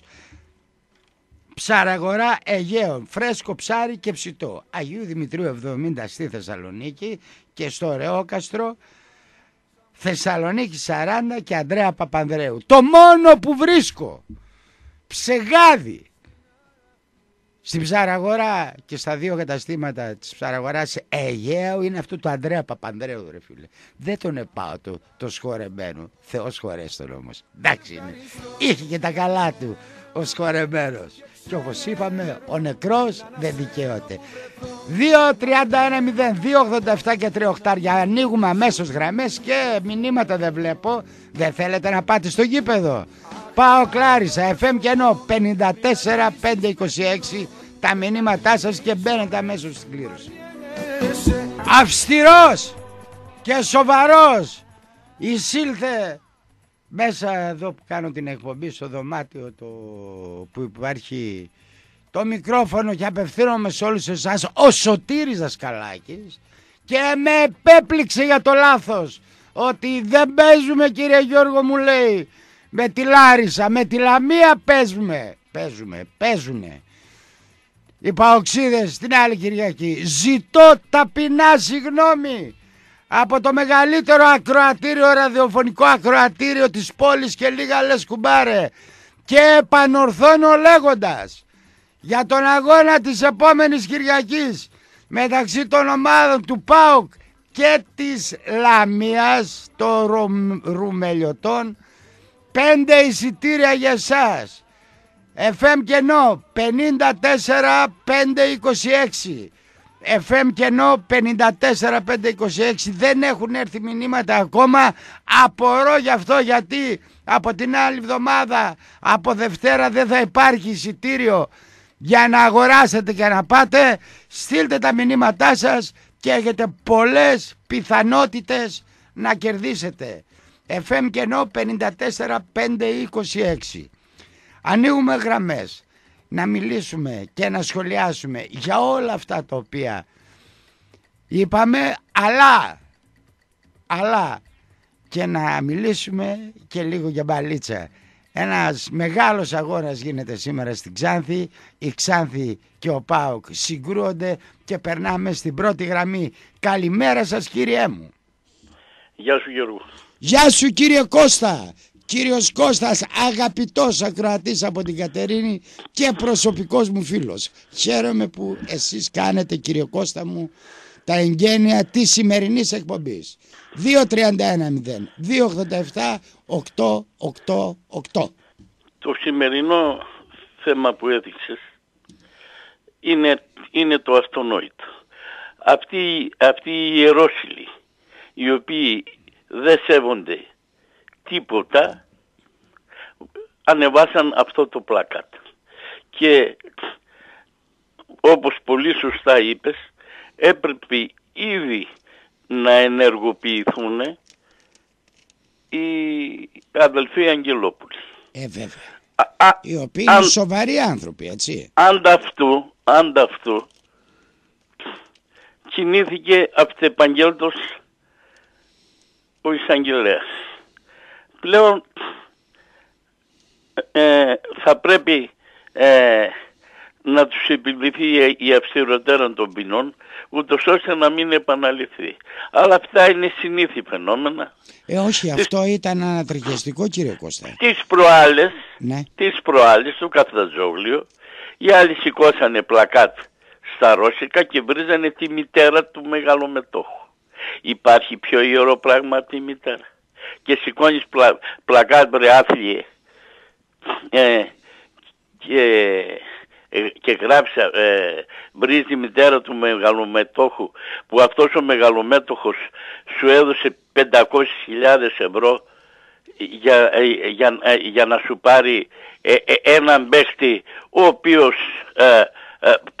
θα εξελιχθεί, αν εξελιχθεί και μακάρι να εξελιχθεί γιατί το παιδί είναι από τα μέρη μας. Λοιπόν, και, σε γλίτωσε από το τραγικό οικονομικό αδιέξοδο που βρισκόσουμε. Δεν υπάρχει. Ε, ε, ζούμε μια ηλιστική εποχή στα, ε, που κάθε ηθική αξία ε, έχει πάρει, έχει εξαφανιστεί. μετά, όταν ακούω ο Ολυμπιακός ιδέα, η ΑΕΚ ιδέα, ο ΠΑΟΚ ιδέα, τι ιδέα, τι ιδέα, προς τι ιδεολογική προσέγγιση ενός αθλήματος το οποίο είναι χρήτης διαλογής σε σχέση με τα μεγάλα ευρωπαϊκά πρωταθλήματα και ενός πρωταθλήματος τριών ταχυτήτων. Ε, παικτών οι οποίοι παίρνουν δέκα φορές παραπάνω από, τη, από την αξία τους και κάνουν και τσαλιμάκια και κάνουν και κορδιλάκια, όχι υπογράφω, όχι δεν υπογράφω. Άντε ρε κάντε μας τη χάρη. Αλλά το, το πιο λυπηρό από όλα που με θλίβει εμένα είναι το γεγονός ότι άτομα τρίτης ηλικίας. δείχνουν ένα υπερβάλλοντα φανατισμό που δεν συνάδει με την ηλικία. Γιατί αυτοί θα πρέπει, διότι εμείς, γιατί και εγώ στην τρίτη ηλικία ανήκω, θα πρέπει να αποτελούμε παράδειγμα ε, του να μην εξωθούμε στα άκρα με τις ε, δηλώσεις και με τις τοποθετήσεις μας. Κύριε Κώστα βάλε μια ανωτελεία γιατί θέλω να σε ρωτήσω για κάποια πράγματα να ναι. πάρω τη γραμμή γιατί από ό,τι μου λέει ο Σωτήρης Δασκαλάκης είναι από κινητό και συνεχίζουμε. Ορίστε ο ναι. επόμενος. Γιώργο μου καλημέρα. Καλή σου μέρα. Ο Πασχάλης είσαι; Πασχάλης Ολυμπιακάρα, πρωταθλητής 2018-19 όταν τελειώσει το πρωτάθλημα. Έχεις την λοιπόν. πλάκα σου ρε Πασχάλη. Λοιπόν, ε, χαιρετώ και τον κύριο Κώστα. Μάλιστα. Το λέτερο λοιπόν, Καπαδόκι. Λοιπόν, ε, δεν θα πω τι, δεν θα πω σχεδόν τίποτα από το πρόλογο σου. Θα προσθέσω μόνο τη λέξη αλητία, γιατί περί αλητίας πρόκειται, και αν γίνει αυτό που είπε ο φίλος μου ο Κώστας από την Κατερίνη, ότι αυσεπάγιοντα ε, κινήθηκαν ε, τα όργανα, λοιπόν όταν τους πιάσουν να μην τους ξαναδούμε. Να μην τους ξαναδούμε. Γιατί ε, αν ε, είχα την δυνατότητα να είμαι πρόεδρος σε μια ομάδα που αγαπάω, δεν θα γινόμουν ποτέ για τον εξής λόγο. Γιατί σε ξένο κόλλο 100 ξυλιές.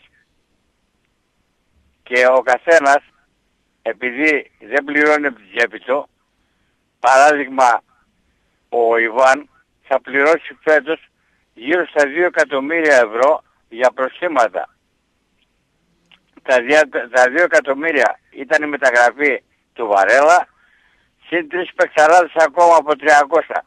Είναι έτσι δεν είναι. Έχει τόσα πολλά πρόστιμα, 2 εκατομμύρια.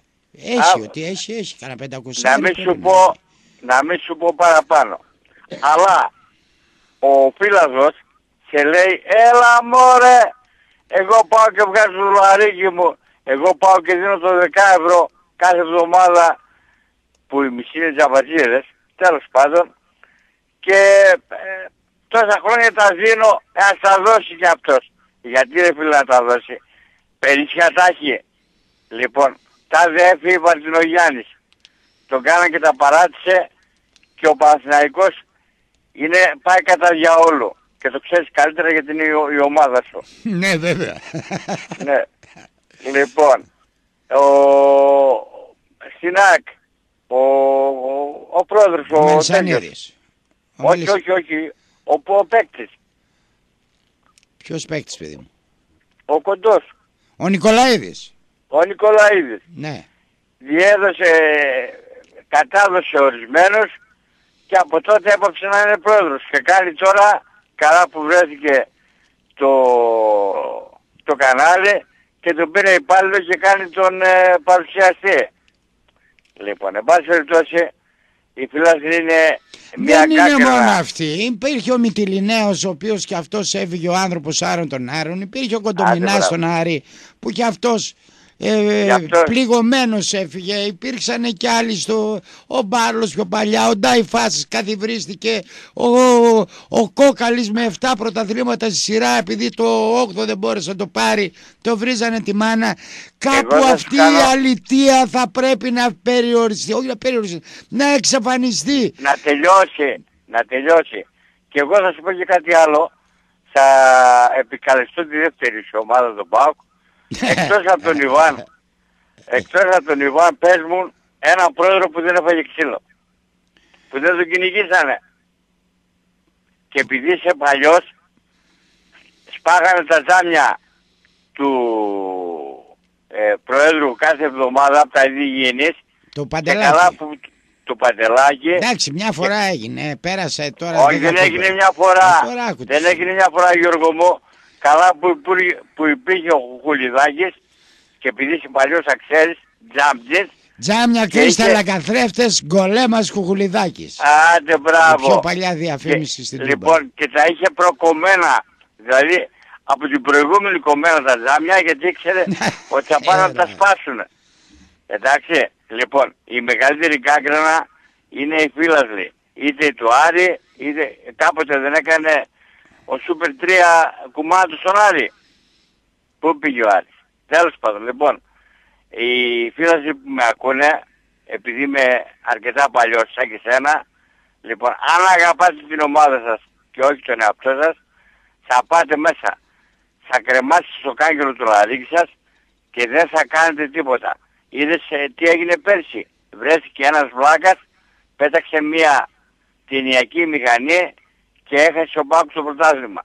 Είναι έτσι δεν είναι; Έτσι είναι, αλλά σε αυτό στηρίχτηκε και η... Λοιπόν, και ε... κακός, Γιώργο, ναι, ναι. για, να, για, για θέλω να μιλήσει ο Γιώργος Κώστας.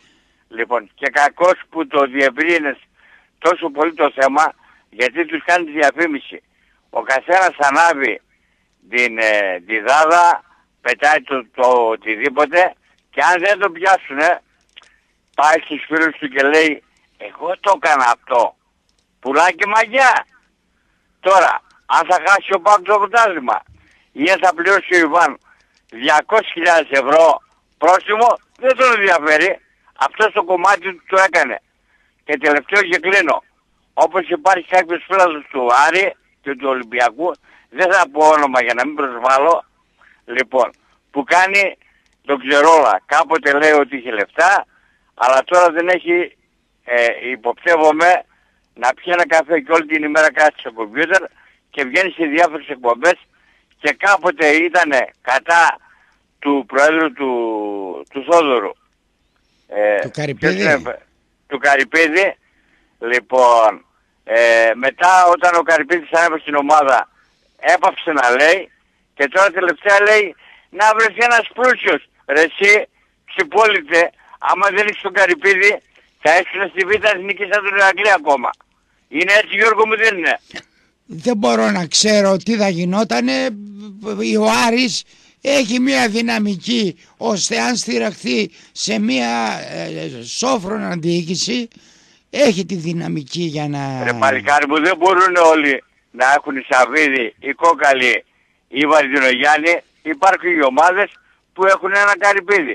Ο οποίος αυτή τη στιγμή έδειξε ο άνθρωπος ότι είναι νοικοκύρης, ότι ε, τα πάει μία ίσα μία πανιά τα πράγματα, η ομάδα πάει καλά και βρέθηκε τώρα, όχι βρέθηκε, βρίσκονται οι πουθενάδες, γιατί δεν είναι μόνο ένας, είναι πάρα πολλοί, που ζηλεύουν τους Σαββίδη. Ε, δεν μπορούμε ρε φίλε να έχουμε Σαββίδη, δεν μπορούμε να έχουμε Μαρινάκη όλοι μαζί.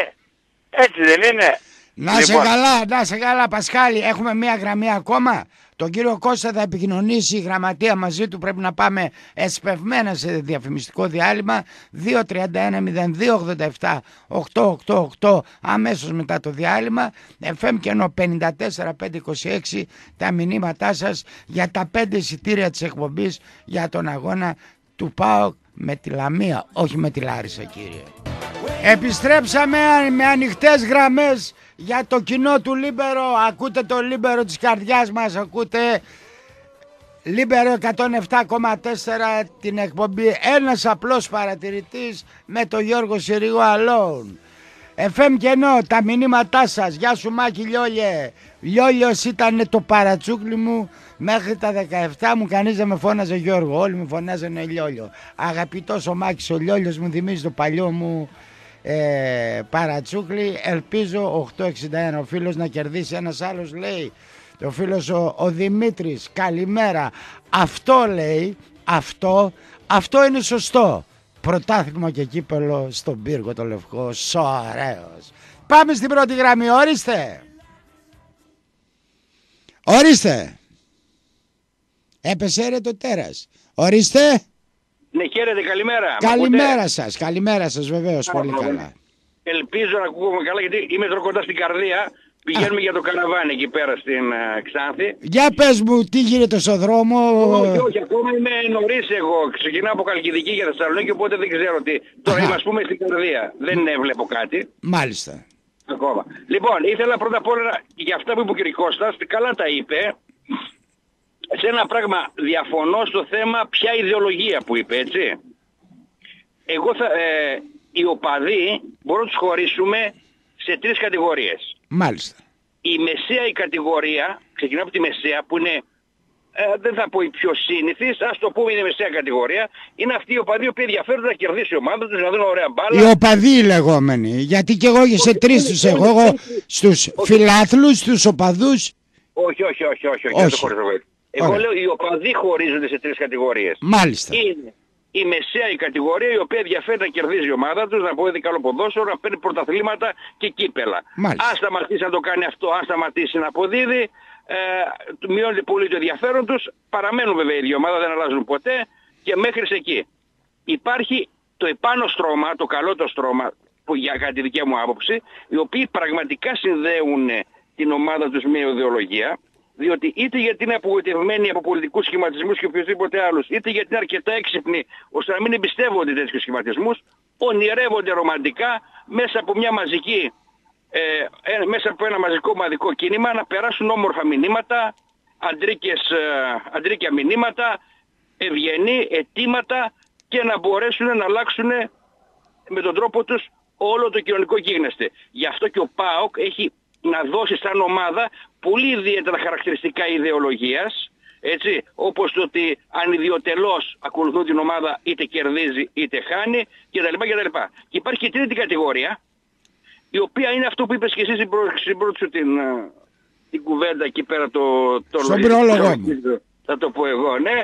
Τα σκουπίδια που λέμε, το οποίο είναι σε όλες τις ομάδες, δεν ε, αναιρούν τη δική μου, οι οποίοι είτε από κόμπλεξ είτε από ε, οτιδήποτε άλλες σκοτεινές, ε, σκοτεινά κίνητρα, με το κάλυμα της μαζικότητας θέλουν να περάσουν όλες αυτές τις συμπεριφορές και εκεί είναι αυτό που είπε ο Ιωρακλή για τη μάνα του, προ, του μεγαλομέτωχου ή το άλλο κτλ. Και, και μέχρι και που φτάνουν και σε ενέργειες εγκληματικές. Ωραία. Βεβαίως. Οπότε λοιπόν το θέμα ιδεολογίας υπάρχει αλλά σε ένα, σε ένα μόνο επίπεδο των, ε, πώς το λένε, ε, των οπαδών. Επίσης, ε, Γιώργος, σε ακούω πολύ, μου αρέσεις αλλά κάπου απογοήτευσες, θα σου το πω τώρα. Έτσι. Ναι, για πες μου. Σ' άκουσα το, ε, στον πρόλογο σου, έλεγε να αγωνιστούμε, πρέπει να αντιδράσουμε, να κάνουμε και με, ε, για, για όλα αυτά τα ζητήματα που και κάπου επιτέλους μίλησε για το θέμα Τζίλου, εδώ δάρθηκε διετής και τα λοιπά. Και εγώ ήμουν ακροατής, ο οποίος πριν 15 μέρες ήμουν με την αποστολία ε, για κάποια νέα που βγήκαν, ήθελα να τα πούμε από την εκπομπή, για το θέμα Τζίλου, με ποιους έχει σχέση κτλ. κτλ. Με κόψες κιόλας, με είπες και ανώνυμο, άσε αποστολή, μην πάθουμε και τίποτα. Η αποστολή του Γαστόν είπε γιατί, αφού αυτά τα θέματα βγαίνουν στην επιφάνεια, δεν είναι κάτι το κρυφό κτλ. Ε, άσορ μωρή, μην πάθουμε τίποτα κτλ. Άρα, ε, είναι εύκολο από ένα μικρόφωνο Γιώργο μου να το παίζουμε παλικάρια και να μιλάμε για αντίδραση. Και αν δεν μπορούμε να αντιδράσουμε σε, στα, στα αυτονόητα, μετά πρέπει να αντιδράσουμε για πιο σημαντικά θέματα στη ζωή μας. Ε, δεν έχω πρόβλημα ούτε για τις ανωνυμίες ούτε για τα λοιπά. Αυτό ήθελα να πω. Πολύ καλά έκανε το θέμα Τζίλου και καλά είδες τι έγινε με τον αποσιωπή το θέμα Τζίλου. Όχι μόνο από σένα, από πολλούς και τα λοιπά. Έφτασαν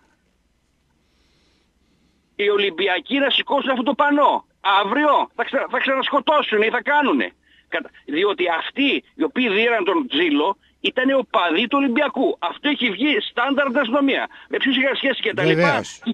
Και εκείνα άρχισαν να βγαίνουν, το οποίο θα βγουν η δικαιοσύνη θα δείξει. Αλλά το θέμα είναι σίγουρο παδί του Ολυμπιακού. Εάν λοιπόν δεν τα καυτεριάζουμε εμείς και φοβόμαστε ότι αυτοί οι συμμορίες, ότι είναι έτσι, είναι αλλιώς θα μας δίνουν, θα μας κάνουν, θα αποδρασινθούν. Και πού είναι η αντίδρασή μας σαν Έλληνας; Και μετά πραγματικά γινόμαστε όλοι νεοέλληνες και σκουπίδια. Και εκεί θα πρέπει να, και το, έπρεπε να βάλεις και τον εαυτό σου μέσα, όπως το βάζω και εγώ όταν χαρακτηρίζουμε με σκουπίδια για τα λοιπά όλο τον κόσμο, έτσι. Καλά τους κάνουμε, αλλά και τον εαυτό μας μέσα. Ωραία. Ωραία, μια χαρά μας τα είπες, απλώς το μόνο που ήθελα να σου πω είναι ότι θα ήθελα όλο αυτό το οποίο είπες φίλε να το ξεκινήσουν οι μεγαλοδημοσιογράφοι οι οποίοι κυκλοφορούν με φρουρά, με αστυνομία να τους φυλάει με μπράβους και μετά εμείς οι κοινοί θνητοί. Υπάρχουν κάποιοι, υπάρχει κάποιος συγκεκριμένος ε, ο οποίος έχει τα πιπεράτα που τον βγάζει που τον υποστηρίζουν, φοβούνται. Λίγοι είναι που τον σμπρώχνουν. Εγώ άκουσα και τον Κόλκα, δεν μπορώ να πω το δικό μας, έτσι. Ναι. Ο οποίος όταν βγήκε ο Κούγιας του έκανε συνέντευξη για τις συνομιλίες του Ανατόλου και τα λοιπά με θάρρος για να βγάλει φυσικά ο Κούγιας. ε, Ναι, δεν- άμα θα βγει ο Κούγιας να τα πει και εγώ θα τον άφηνα να μιλήσει. Όχι, ο, Κούγι- ναι, όχι, θα Γιατί πει. ο Κούγιας μιλάει επώνυμα. Όχι, ο Κούγιας δεν τώρα άνοιξε το θέμα όμως, ο Κόλκας το άνοιξε. Ε, βέβαια. Προς τιμή του. Προς τιμή του το άνοιξε το θέμα σε όλο το ραδιόφωνο. Τι έγινε με τις συνομιλίες, τι έγινε που βγήκανε με τις σχέσεις κτλ. κτλ. Και φυσικά ο Κούγιας πήγε να το κουκουλώσει το θέμα. Έτσι. Ναι, ναι. Όταν υπάρχει και κάποια στιγμή, είναι πολύ έξυπνος, πολύ έξυπνος να το κουκουλώσει, πάντως λέει δεν είναι, ε, π- είναι κλιματική ενέργεια, αλλά όχι ε, για φόνο, διότι το χτυπούσε στα πόδια, οπότε δεν μπορεί να θεωρηθεί Α, δεν φόνος. πιάνεται δηλαδή. Όχι, Δεν όχι, μπορείς το να δέχονται πεθάνεις δηλαδή. από το- από Ψέματα. τραύμα στα πόδια. Όχι, Ο Κούγιας είπε ψέματα. Ε, βέβαια είπε ψέματα. Γιατί Γιατί και το αυτός χτύπησε φοβάται, και- αλλά και- έχει και συμφέροντα ο Κούγιας. Είπε ψέματα γιατί το χτύπησε και στο κεφάλι και καλύφθηκε. Και Α. στο κεφάλι έχει χτυπήματα. Σε αυτό λέει έχει δίκιο. Αν σε χτυπάνε μόνο στα πόδια δεν πάνε να... Είναι εγκληματική ενέργεια λέει. Δεν ξέρει τι πρόκειται να γίνει μετά. Αλλά δεν είναι για πρόκληση φόνου. Όμως ε, είναι ψέμα. Το χτύπησαν και στο κεφάλι. Και προσπάθησαν να το χτύπησαν στο κεφάλι. Τέλος πάντων. το Αυτά μιξ- πρέπει να τα ανοίγουμε σιγά σιγά, να τα λέμε όλα, τι έχει βγάλει η αστυνομία, ποιοι ήταν ε, με αυτοί που συνομίλησαν κτλ. Ο κόσμος έχει τούμπανο και εμείς κρυφό καμάρι. Αυτή η ομάδα, η οποία αν πραγματικά αυτή η ομάδα έχει σχέση με τους προέδρους, πρέπει να πέσει β' εθνική. Όχι β' γάμα να αφανιστεί. Να βάλουν μυαλό. Δεν μπορούμε να ζούμε σε ένα κράτος εγκληματικό και όλοι να το βουλώνουν μέχρι να μας σκοτώσουν και εμάς τους ίδιους. Δεν κατάλαβα. Είδες που ήρθε η ώρα για να το δείξουμε; Ε, γι' αυτό σου Ε, λέω δεν το τηλέφωνο εμένα. Μ' αρέσεις, ας με έβαλες χέρι. Πώς Γιατί είναι... σε εκτιμάω, πήγα να ανοίξω τα θέματα, η αποστολή πήγε γιατί ρε Γιώργο λέει, αφού είναι γνωστό το θέμα, ε, πώς άμα δεν αντιδράσουμε. Α, Αυτοί έκανε θέλουν τέτοιο να πράγμα. θέλουν να ανοίξουν πρώτοι. Δεν πειράζει που με έβαλες χέρι, καλά με έκανες, καμιά φορά χρειάζεται και κανένα όμως τσίχλισμα. το πρώτο- το Για πρώτο- πες το μου το πρώτο- μικρό σου το όνομα. Τάσος, Τάσος, Τάσος. Να είσαι καλά ρε Τάσο. Καλημέρα, γεια. Γεια χαρά. Ορίστε ο επόμενος. Έπεσε, γιατί έπεσε ρε φίλε; 2.31.0, 2.87 και 3 οχτάρια. Έτσι, μια χαρά μας τα πω. Ο άνθρωπος μας έβαλε για ένα ψηλό χέρι. Είναι η μέρα μου σήμερα και χθες ένας με έβαλε χέρι. Ίσως θα πρέπει να γίνουμε πιο καυστικοί. Ε, να πιάνουμε και θέματα που κάνουν τζιζ. Δεν ξέρω. Δεν ξέρω. Καμιά φορά ξέρεις... ε, επειδή έχω περάσει στη ζωή μου πολλά πράγματα δεν μπορώ να πω ότι ε, δεν έχω φοβηθεί αλλά επειδή μα έχω μάθει να φυλάγομαι είμαι της άποψης η κατάλληλη ώρα η κατάλληλη σφαίρα στην κατάλληλη ώρα. Εκεί που πρέπει μπορεί να πλώσει ένα θέμα. Εκεί όμως που θα προκαλέσεις μην είσαι αυτός που θα την πληρώσεις. Ορίστε στην επόμενη γραμμή. Γεια σου Γιώργο. έλα κύριε Κώστα μου. Λοιπόν, θέλω να απαντήσω στον ακροατή. βεβαίως Λοιπόν, ε, που επιμένει για ιδεολογίες. Εγώ η ιδεολογία έχω μάθει στη ζωή μου να θεωρώ την πατρίδα, τη θρησκεία και την οικογένεια. Όχι το ποδόσφαιρο. Ένα. Δεύτερον, αυτό που είπες ότι, φίλε, ότι ο παδί του Ολυμπιακού χτυπήσαν το τζίλο. Εκεί έπρεπε να τον κόψεις. Πώς αποφαίνεσαι τη στιγμή που δεν απεφάνθη ακόμα η δικαιοσύνη. Εντάξει τώρα εδώ που τα λέμε να μην κρυβόμαστε και πίσω από το δάχτυλό μας έχει και το δίκαιο του άνθρωπου. Έχεις και εσύ το δίκιο σου γιατί προέρχεσαι και από οικογένεια νομικών και ξέρεις ορισμένα πράγματα αλλά εδώ που τα λέμε ο κόσμος το έχει τούμπανο και εμείς κρυβοκαμμένοι. Γιώργο, Γιώργο ε, ε, ε, μπορεί να βρει τον πελάτη ο άνθρωπος. Εγώ για προστασία το λέω. Ναι βεβαίως, Εντάξει, βεβαίως, βεβαίως. Σίγουρα μπορεί να βρει και ο σταθμός και εγώ. ακριβώς. Από τη Για- στιγμή που δεν έχει αποφαθεί η αστυνομία Η αλλά- δικαιοσύνη, όχι η αστυνομία, η δικαιοσύνη. Όχι η αστυνομία για να τον καταγγείλει για να τον περιλάβει. Η αστυνομία, η αστυνομία θα τον καταγγείλει και, και η δικαιοσύνη θα αποφανθεί. Πε- πε- περί τίνος πρόκειται. Μάλιστα. Λοιπόν, α, ανεξάρτητα αν εμείς λέμε, ε, ε, ε, εμείς τώρα, ε, λέμε ότι ε, φως φανάρι είναι έτσι, δεν το βγάζεις προς τα έξω αυτό. Δεν το βγάζεις προς τα έξω. Διό, διότι μπο- μπορεί να βρεις τον πελά και εγώ για προστασία το λέω. Εντάξει, για να ξεκαθαρίζω. Ε, επίσης θέλω να αναφερθώ στη χθεσινή ε, τοποθέτησή σου όταν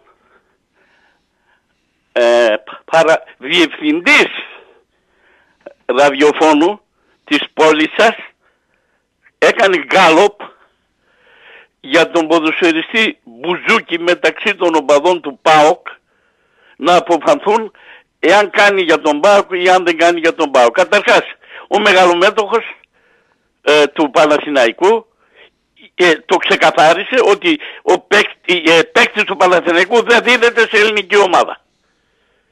Ένα είναι αυτό. Δεύτερο, πώς κάνεις εσύ συγκάλωπ. Όταν υπάρχει δήλωση του μεγαλομετόχου, τι προσπαθείς να επιτύχεις; Να μειώσεις τον Παναθηναϊκό; Δεν μπορείς να τον μειώσεις τον Παναθηναϊκό. Ο Παναθηναϊκός είναι αυτός που είναι ε, όλα τα χρόνια. Αν αυτή τη στιγμή διέρχεται μία περίοδο ισχνών αγελάδων,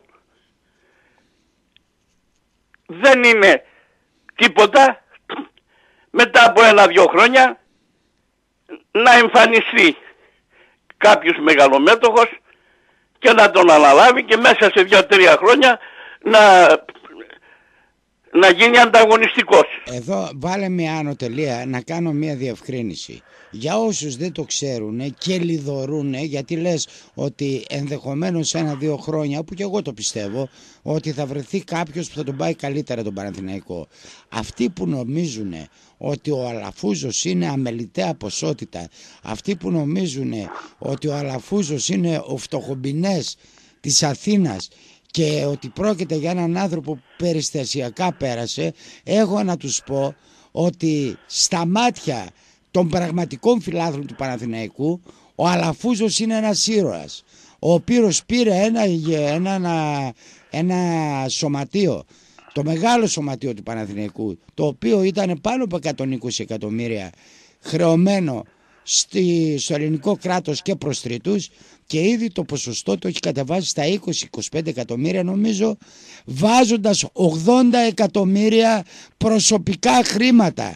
Ο Αλαφούζος είναι ένας μεγιστάνας εφοπλιστής μία από τις μεγαλύτερες οικονομικές δυνάμεις της Ελλάδος και αν έχει και μία βοήθεια γιατί λέει ελάτε να βοηθήσετε να κάνουμε ένα βήμα παραπάνω και δεν πάει κανείς απαξιώνουμε τον Αλαφούζο στον οποίο ο άνθρωπος έχει, θα μπορούσε και αυτός όπως κάνανε κάποιοι άλλοι μέσα σε αυτούν και η ΑΕΚ η οποία έριξε την ομάδα στην τρίτη εθνική και έσβησε τα χρέη να ρίξει τον Παραθυναϊκό στην τρίτη εθνική και αυτός και να μην δώσει δεκάρα. Αυτός όμως κάθισε και αγωνίστηκε. Γι' αυτό λέω ότι καλώς τον στηρίξανε τον Παναθηναϊκό οι άλλες δυνάμεις οι ποδοσφαιρικές της Ελλάδος διότι ένας άνθρωπος που αγωνίζεται για να πληρώσει την κοινωνία δεν τον καταδικάζεις. Τον αφήνεις να προσπαθεί. Τον στηρίξανε διότι η Νόβα τους είπε ότι αν δεν είναι ο Παναθηναϊκός στην ε, μεγάλη κατηγορία έχετε μείον 30% από αυτά που παίρνατε. Πρώτα πρώτα ο Παναθηναϊκός ρε κότσο δεν μπήκε στην Νόβα. Ο Παναθηναϊκός πήγε στην ΕΡΤ. Όταν μπήκε στην Νόβα. Α, πρόπερση. Ναι. Γιατί ακούω πολλούς που λένε με τα λεφτά του ελληνικού κράτους δώσαν 4 εκατομμύρια στον Ολυμπιακό. Και δηλαδή πόσα έπρεπε να δώσουν στον Παναθηναϊκό; Να του δώσουν όσο παίρνει Ξάνδη και ο Λεβαδιακός; Και τον Άρη και ο, ο Άρης Παλα... ρηγμένος. και αυτή τη στιγμή η Νόβα παραπέει γιατί; Γιατί δεν έχει τον Παναθηναϊκό και τον Άρη. Ο Παναθηναϊκός παίρνει από την ΕΡΤ όσα, ό, όσα παίρνει ο ΠΑΟΚ από την Νόβα. Δεν πρέπει. Και βέβαια. Δεν πρέπει γιατί δεν θα το δεις μόνο ε, στο μέγεθος της ποδοσφαιρικής αξίας θα το δεις ποιο πόσος κόσμος τον βλέπει Μα από, από, από πλευράς εμπορικότητος. Ε, βέβαια τώρα. Αυτό λέω. Κάτσε να πάρω, την άλλη, να πάρω τη γραμμή να μην περιμένει και συνεχίζουμε. Ορίστε. Ορίστε, σας ακούω. Έπεσε. Έλα κύριο Κώστα. Λοιπόν, ε, ως εκ τούτου καλά έκανες και το έθιξες το θέμα, διότι ο, ε, ε πολλές φορές βγαίνουν από τα ραδιόφωνα οπαδοί τέλος πάντων και το λένε αφραγκούζο χωρίς να γνωρίζουν ότι, ε, ότι έχει 180 καράβια ο άνθρωπος. Πετρελαιοφόρα λοιπόν, παρακαλώ, όχι καράβια, καραβάκια. Ναι, βέβαια. Έτσι. Κα, κα, καράβια ε, ναυσιπλοείας. Βεβαίως. Λοιπόν, το, το, το λένε αφραγκούζο ε, ή για παράδειγμα λένε ότι ε, ο Μελισανίδης δεν έβαλε ε, δραχμή. Βρε σταματήστε βρε. Εδώ μπήκαμε σε μια ομάδα το 76 και για να μπούμε, για, άνοιξα θηρίδα στην τράπεζα με εγγύηση την, ε, την, την ατομική μου περιουσία. Μου ανοίξανε θηρίδα στην τράπεζα. Και επειδή κάθε χρόνο γινόταν αυτό, αναλάβαμε την ομάδα με 1,5 εκατομμύριο παθητικό και την ε, παραδώσαμε με 2,5 εκατομμύρια παθητικό. Μόνο ε, ε, ένα εκατομμύριο, πες το, σε όλη τη χρονιά με σφιχτή οικονομική πολιτική. Και εάν δεν αναλάμβανε κανένας, αυτά τα 2,5 εκατομμύρια θα μοιραζότανε δια του 11 που ήμασταν. Να την πλέρωνες δηλαδή. Ακριβώς. Να σου πω κάτι, αυτό που λένε για τον Κουρμπέλη ότι θέλει να τον πάρει ο Πάοκ, αυτό να πάρει τον Μπουζούκι, να πάρει... Πιστεύεις ότι υπάρχει περίπτωση να γίνει μεταγραφή μεταξύ των τριών τεσσάρων μεγάλων ομάδων της Ελλάδος; Γιατί εγώ ιστορικά ξέρω ότι ποτέ ο ΠΑΟΚ δεν πήρε παίκτη από τον Άρη, από τον Ολυμπιακό, από τον Παναθηναϊκό και από την ΑΕΚ πλην του Λάκη Παπαϊάνου που πήρε από τον Ηρακλή. Και καμία ομάδα των Αθηνών δεν πούλησε παίκτη μεταξύ τους. όσοι παίκτες έφυγαν από τον Παναθηναϊκό στον Ολυμπιακό και αντίθετα φεύγανε γιατί δεν συμφώνησαν στην οχταετία ή στην πενταετία ε, με, με, την, με την πρώην ομάδα τους. Και από την ΑΕΚ. Και από, και την, από την ΑΕΚ. Ποτέ ναι. η ΑΕΚ δεν πούλησε παίκτη στον Ολυμπιακό ή στην ΑΕΚ. Στον Παναθηναϊκό. Ναι. Πήρε με τον Ντομάζο, τον Ελευθεράκη. Και τον Σαραβάκο και τον Ελευθεράκη και τον Παπα Εμμανουήλ. Αλλά τους πήρε σαν ελεύθερους. Βεβαίως. Έτσι είναι. Έτσι είναι. Και όταν βλέπω εγώ ότι θα πάρει εδώ το Μολέδο, ε, πέρσι, τον χάσανε και δεν τον δώσανε. Η Παναθηναϊκή. Πέρσι πήγε να πάρει τον κουρμπέλι και βγαίνει και λέει ο άνθρωπος: Εγώ είμαι καλυμμένος από τον Παναθηναϊκό. Δεν θα μα πάω το, στον Πάοκ. Μα το μόνο παίχτη που δώσανε ε, σε τιμή ξεφτύλα 200 χιλιάρικα ευρώ ήταν το Χουλτ. ο Παναθηναϊκός που πήγε στην ΑΕΚ. Δεν τον πούλησε. Ελεύθερος ήταν. Με συγχωρείς πολύ. Τον πούλησε το Χουλτ ο Παναθηναϊκός. Δεν ανανέωσε και πήγε στην ΑΕΚ. Είχα ακούσει ότι, ε, ότι έδωσε 200.000 ευρώ. Δεν ξέρω αν ήταν η ρήτρα του. Ναι. Άλλο να πάει να πληρώσεις τη ρήτρα και να μείνει ελεύθερος ο παίκτης, και άλλο να πας ναι. να, το, ε, που να τον έδινα με 200.000. Ε, τον παίκτη τώρα. Πάντως ε, γράφτηκε αυτό γι' αυτό. Δεν ξέρω πιθανόν να ήταν η ρήτρα όπως λες. Δεν το ξέρω. Λοιπόν, ε, ε, ε, επομένως, επομένως δεν μπορείς εσύ κύριε ε, Μπούζο να ε, προσπαθείς να υποβεβαιώσεις. Ε, το κύριο Μπούζο πάρτο τώρα σε παρακαλώ. Δεν, πάση περιπτώσει εγώ έκανα ένα σχόλιο γενικό τώρα μην το βάλουμε και το... Μα το άκουσα εγώ το σχόλιο. Μάλιστα. Το άκουσες. Εντάξει. Φτάνει, το, το, το, το, το είπαμε το... Ε, δεν ο, το λέω. Ο Γιώργος είναι φίλος μου, δηλαδή Μα... δεν το είπα εγώ για να τον... Ε, δεν με δια... Καταρχάς εγώ δεν άκουσα... Ε, ε, ε, εγώ τη δικιά σου την εκπομπή την άκουσα σε μαγνητοσκόπηση. Δεν την άκουσα απευθείας. Μάλιστα. Ναι, εντάξει. Λοιπόν... Ε, Απλώς με πειράζει, με πειράζει όταν, δηλαδή τώρα που είμαι πάνω στο άλογο κοιτάζω υπεροπτικά αντιπάλους οι οποίοι έχουν την αξία τους ρε φίλε γιατί πολύ με έλα ρε ποιος, ποιος Άρης κάτσε ρε εγώ δεν δανείζω με τα, εγώ δεν, δεν δανείζω με τα δικά σου λεχθέντα τα χθεσινά διότι ε, την άκουσα σε μαγνητοσκόπηση και γι' αυτό είπα. Λέω για να την έχει σε μαγνητοσκόπηση, ε, άρα πρέπει να αναφέρθηκε χθες. Ε, ε, εσύ δεν έχεις καμία ανάμειξη στην προκειμένη περίπτωση και αναλαμβάνω την ευθύνη των όσων λέγω. Εντάξει κοτσαρί, είσαι ωραίος κότσο. Χαιρετώ, να είσαι καλά, γεια σας. Να είσαι καλά. Δεν θα πούμε τις διαφημίσεις τώρα, θα κάνουμε το διάλειμμα και θα τους πω αμέσως μετά από το μικρό διαφημιστικό διάλειμμα 2.31.0 2.87 και 3 οχτάρια τα τηλέφωνά σας FM και ενώ 54 526 τα μηνύματά σας για τα 5 ειστήρια τα οποία θα κληρώσουμε 3-4 λεπτά πριν από τέλος της εκπομπής. 2.31.0 2.87 8 Ανοίγουμε γραμμές και πάλι για σας κυρίες και κύριοι επίσης. Τα μηνύματά σας για το μεγάλο αγώνα της επόμενης Κυριακής μεταξύ του ΠΑΟΚ και της Λαμίας που θα γίνει στις 7 η ώρα στο γήπεδο της Τούμπας πέντε, ε, πέντε τυχεροί από εσάς θα πάρουν το εισιτήριο και θα πάνε να δούνε γιατί ειλικρινά σας λέω την άλλη εβδομάδα δύσκολα θα μπορέσετε να βρείτε εισιτήριο 2.31.0 2.87 και 3 οχτάρια FM κενό 54 526. Ορίστε στην γραμμή. Ε, Γιώργο, καλημέρα. Καλώς το ναι. Ε, θέλω να θίξω ένα θέμα. Το τελευταίο διάστημα πάνε να εξισώσουν από τη μεριά του Ολυμπιακού περισσότερο. Ναι. Το θέμα του Φιλόπουλου με τον Μπλιώνα. Θέλω να πω, επειδή ήμουν παρόν στο γήπεδο 16 χρονών παιδάκι. Του Μπλιώνα; Ναι, είχε γίνει αυτό το κακό με τον Μπλιώνα. Στη Είχαμε στη παγώσει όλοι, φίλε μου. Στη Λάρισα. Παγώσει... Ναι, ναι. Ήμουνα κι εγώ μέσα. Έχω γνώμη. Δεν ήταν αυτός σκόπιμη ενέργεια όπως ο Φιλόπουλος. 100% καμία σχέση. Πέταξε μια φωτοβολίδα, χτύπησε δύο-τρεις φορές κάπου και βρήκε τον άνθρωπο. Ο οποίος καθόταν κάπου μόνος του ήταν ένας ήσυχος άνθρωπος.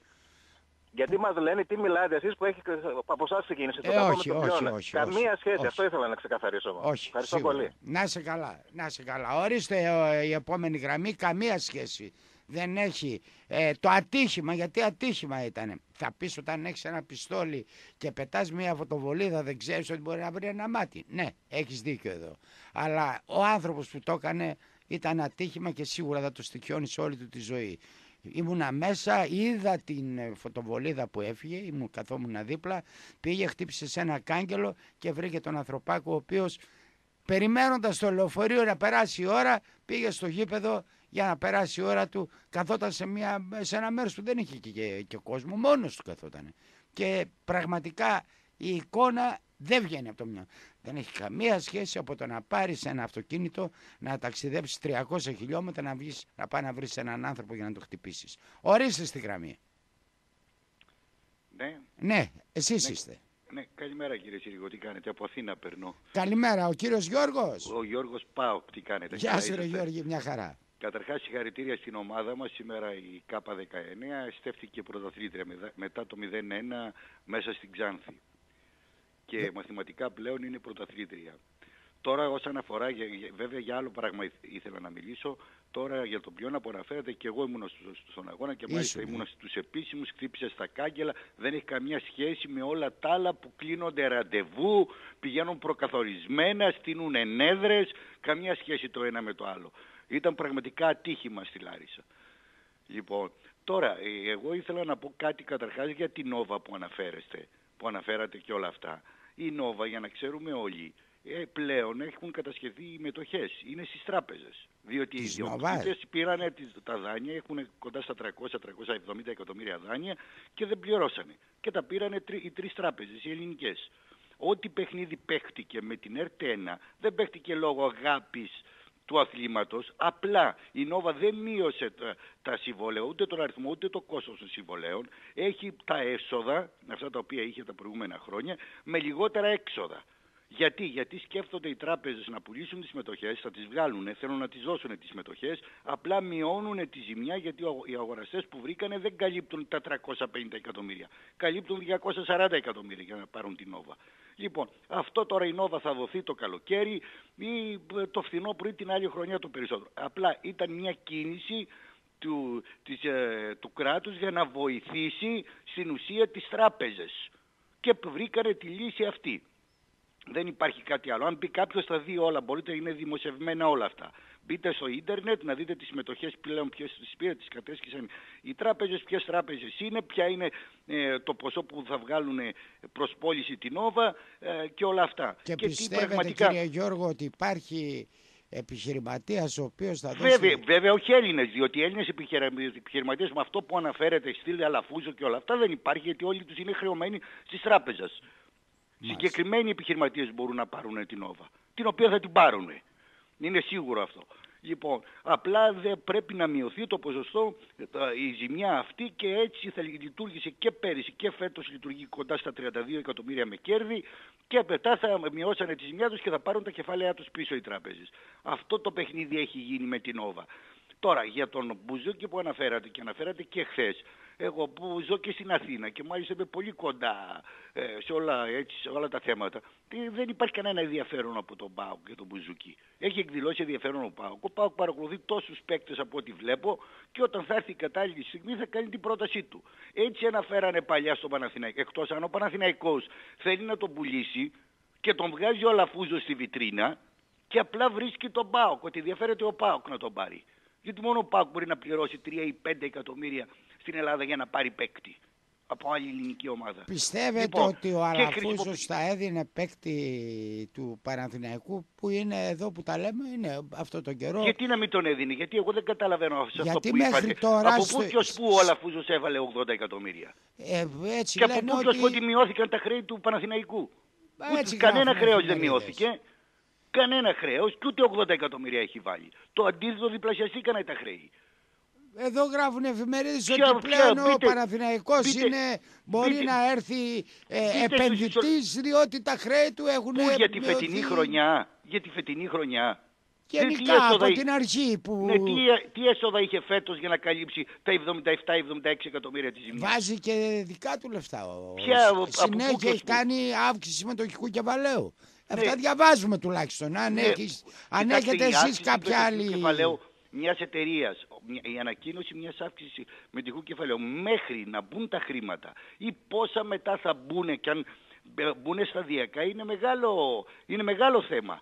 Δηλαδή κάνεις την αύξηση αλλά δεν βάζεις Εγώ λεφτά. ξέρω το εξής πράγμα, ναι. ότι στο Ολυμπιακό στάδιο που ήταν να πάει να παίξει φέτος έπρεπε να διακανονίσουν τα χρέη τους ένα 750 που δεν το είχαν πληρώσει. Μάλιστα. Πριν δύο χρόνια που παίζανε. Ναι. Λοιπόν, εγώ ξέρω ότι ακόμα και ο Ιταλό, τον Ιταλό τον προπονητή που είχε φέρει, τώρα το διακανονίζει να τον πληρώσει. Δηλαδή δεν είχε πληρωθεί. Όλοι οι παίκτες που είχαν έρθει πριν 2-3 χρόνια, 4 χρόνια, κανένας δεν έχει πληρωθεί. Αυτούς διακανονίζουν. Άρα λοιπόν όλα αυτά το χρόνο τι χρήματα δηλαδή πληρωθήκανε. Εγώ λέω αυτά που διαβάζω στην ναι, εφημερίδα, ναι, ίσως ε, εσείς να ξέρετε περισσότερα πράγματα. Όχι, δεν μπαίνει, είναι όλα δημοσιευμένα. Αν μπει κάποιος στο ίντερνετ θα τα δει ακόμα και για την περιουσία που αναφέρεται. Περιουσία, μπείτε, περιουσία Λαφούζου. 300 εκατομμύρια είναι η περιουσία του Λαφούζου που αναφέρουν. Και ποια καράβια, 180 καράβια λένε. Τι είναι αυτά που λένε. Ε, τα ίδια λέγανε και για το Μαρινάκι και κάποια στιγμή τους είπα μπείτε να δείτε παιδιά την εταιρεία, την κεφαλοποίηση στην Νέα Υόρκη. 31 καράβια είναι, εκ των οποίων είχε το 32% των καραβιών. Και, και, και, και η χρηματιστηριακή η αξία της εταιρείας ήταν 720 εκατομμύρια με χρέη σε τράπεζες με δάνεια 525. Ο Αλαφούζος δεν είναι αυτός ο οποίος έφαγε 180 εκατομμύρια πρόστιμο από το ΟΗΕ για τη ρήπανση ναι, παλιά είναι αυτά, αλλά για ποια, ποια 180 υπάρχουν, ο, ο, καταρχάς ο μεγαλύτερος του κόσμου όπου που έχει, τέτοιο έχει 105 καράβια. Στην ποια, τι είναι αυτά που λένε και βάζουν και περιουσίες. Μπείτε, αν μπείτε μέσα περιουσίες του καθενός. Είναι δημοσιευμένα. Ναι, αλλά είναι και σε, σε ε, σημαίες ξένες που δεν μπορούμε να... Όχι, όχι, όχι, όχι. είναι ε. εταιρείες. Είναι εταιρείες αυτές. Είναι εταιρείες. Στην Ελλάδα δεν ξέρουμε, είναι εταιρείες αυτές. Μάλιστα. Δεν μπορεί, δεν μπορεί κάποιος να πάει να αναβλώσει, να κάνει, να πάρει ε, χωρίς να είναι εταιρεία και τα ξέρουν όλα και χωρίς να έχει την άδεια να πάρει το φορτίο για να ασφαλιστεί το προϊόν που μεταφέρεται. Δεν κάνουν πειρατείες, είναι εταιρείες αυτές, είναι γνωστά. Μπορεί να είναι για λόγους φορολογικούς, αλλά ποια εταιρεία είναι και πόσα καράβια έχει και ποιος είναι ο εκπρόσωπος και τι και τι είναι όλα είναι γνωστά που γράφουν οι συμβόλαια. Και όταν κάποιος δίνει χάρη και λέει ότι θα χτίσω δύο καράβια ή τρία καράβια ή πέντε καράβια, τι κάνει; Πάει παίρνει τα συμβόλαια τα οποία έχει υπογράψει για μεταφορά και τα δίνει αυτά στις τράπεζες σαν εγγύηση και παίρνει δάνειο. Και κτίζει τα καινούργια καρκελέ, παρήγγειλε καράβια και πληρώνει καράβια. Αυτά είναι όλα, ε, δεν είναι τόσο εύκολες διαδικασίες. Τώρα, το, τους παίκτες που πήρε, το ίδιο λέγανε για τον Πάοκ, τώρα που αναφέρεται, αναφέραμε για τον Μπουζούκι, λέγανε και πριν 2-3 χρόνια τότε που ήταν έφυγε ο Χουλτ και όλοι.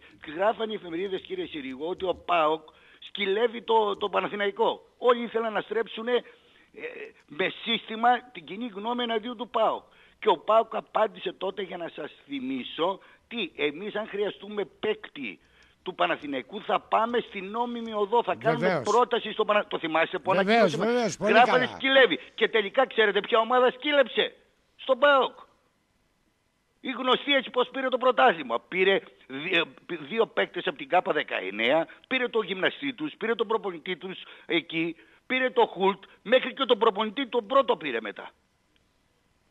Δηλαδή αυτή τη στιγμή γράφουνε Μπουζούκης, ο Μπουζούκης είναι ένας πολύ καλός παίκτης.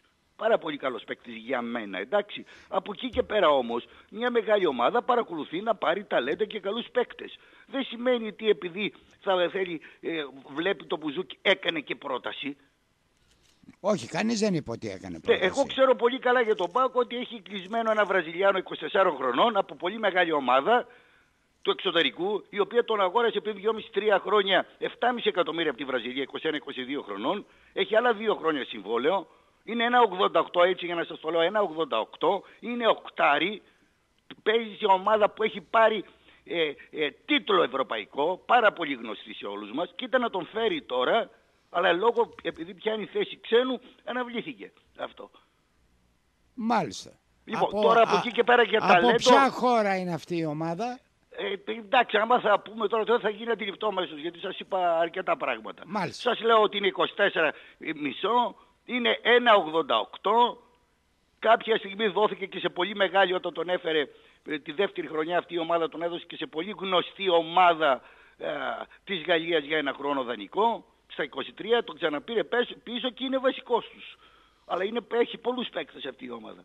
Αυτόν χτυπάει αυτή τη στιγμή θέλει να πάει. Και κάποια στιγμή πέρυσι ακούστηκε το καλοκαίρι για τον Πάο. Αλλά ήταν πολλά τα χρήματα. Λοιπόν, τώρα από εκεί και πέρα κοιτάζει ένα πολύ καλό ταλέντο, πάρα πολύ καλό ταλέντο 20 χρονών, πήγε να τον πάρει από μια ομάδα, γνωστή και αυτή η ομάδα, βέβαια όχι επίπεδου της πρώτης, εντάξει που αναφέραμε, η οποία ζήτησε 7,5 εκατομμύρια. Που λέμε για μπουζούκι, για ταλέντα και όλα αυτά στο, στο Παναθηναϊκό δεν έχει κάνει επίσημη πρόταση. Θα τελειώσει. Αν θέλει να τον πάρει, θα πάει να κάνει επίσημη ξεκάθαρη Αν θέλει να Επειδή ξέρω ότι γνωρίζετε από ποδόσφαιρο και είστε και ναι. παλιός ναι. προπονητής και τα λοιπά που ασχοληθήκατε, ναι.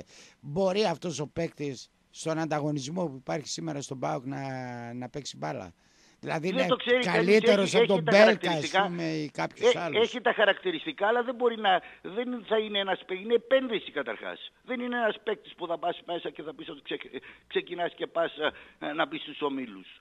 Δηλαδή θα πρέπει να πάρει για αυτήν τη θέση και άλλον παίκτη ο οποίος θα είναι όριμος, ο οποίος θα είναι πολύ έμπειρος. Θέλω να κάνουμε μια συζήτηση επειδή παρακολουθείτε και την ΚΑΠΑ 19 αυτό το πραγματικό χρυσάφι που υπάρχει στον ΠΑΟΚ από τα ταλέντα που καλλιεργούνται εδώ και χρόνια και αυτή η φουνιά δείχνει ότι έχει τις ικανότητες και τις κύριε, πιθανότητες να παίξει στον ΠΑΟΚ ναι. αν θα πρέπει να προσεχθούν φέτος. Κύριε, κύριε Συρίγο, όλοι πρέπει να προσεχθούν, αλλά θα σας πω κάτι. Δεν σημαίνει τίποτα κάτι, τι, επειδή είναι πρώτος παίκτης κάποιος στην ΚΑΠΑ 19 μπήκε και στην πρώτη ομάδα και είναι 20 και 20 και βγάζει μάτια. Δεν σημαίνει ότι αυτός πλέον είναι παίκτης.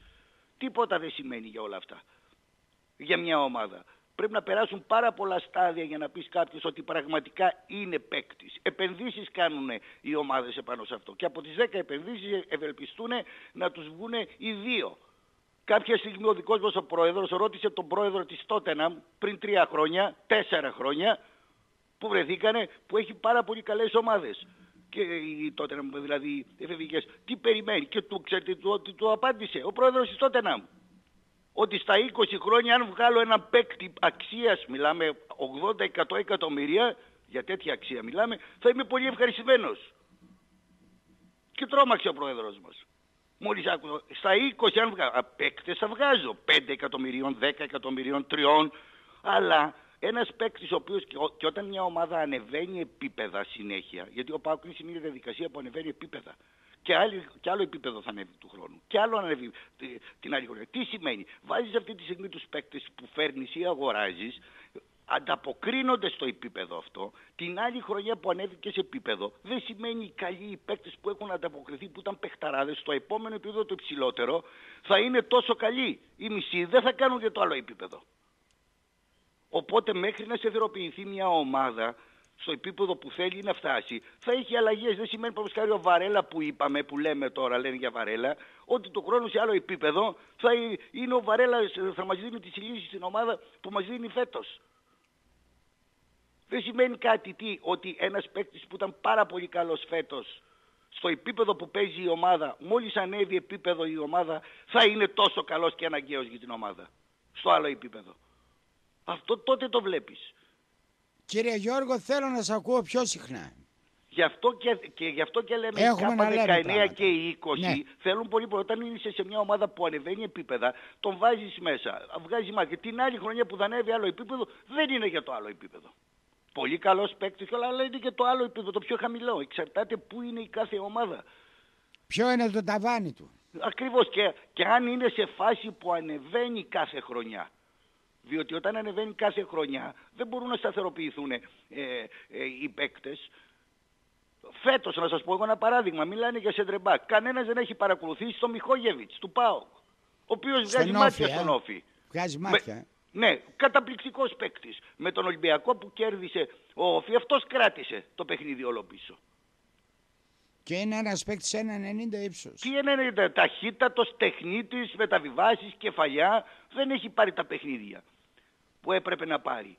Εγώ έλεγα για το Λάμπρου. Εγώ μάλιστα για τον τερματοφύλακα που παίζει στη Λαμία, του, πείτε το τώρα του, τον Μελίσσα, Μελισσάς, πώς λέγεται, τον είχα παρακολουθήσει κάποια στιγμή στη Σπάρτη όταν τον στείλαν πριν τρία χρόνια ναι, ναι. και έλεγα γιατί δεν τον τραβάνει στην πρώτη ομάδα είχα πει. Γιατί δεν τον τραβάει στην πρώτη ομάδα. Στη Σπάρτη όταν τον δώσανε.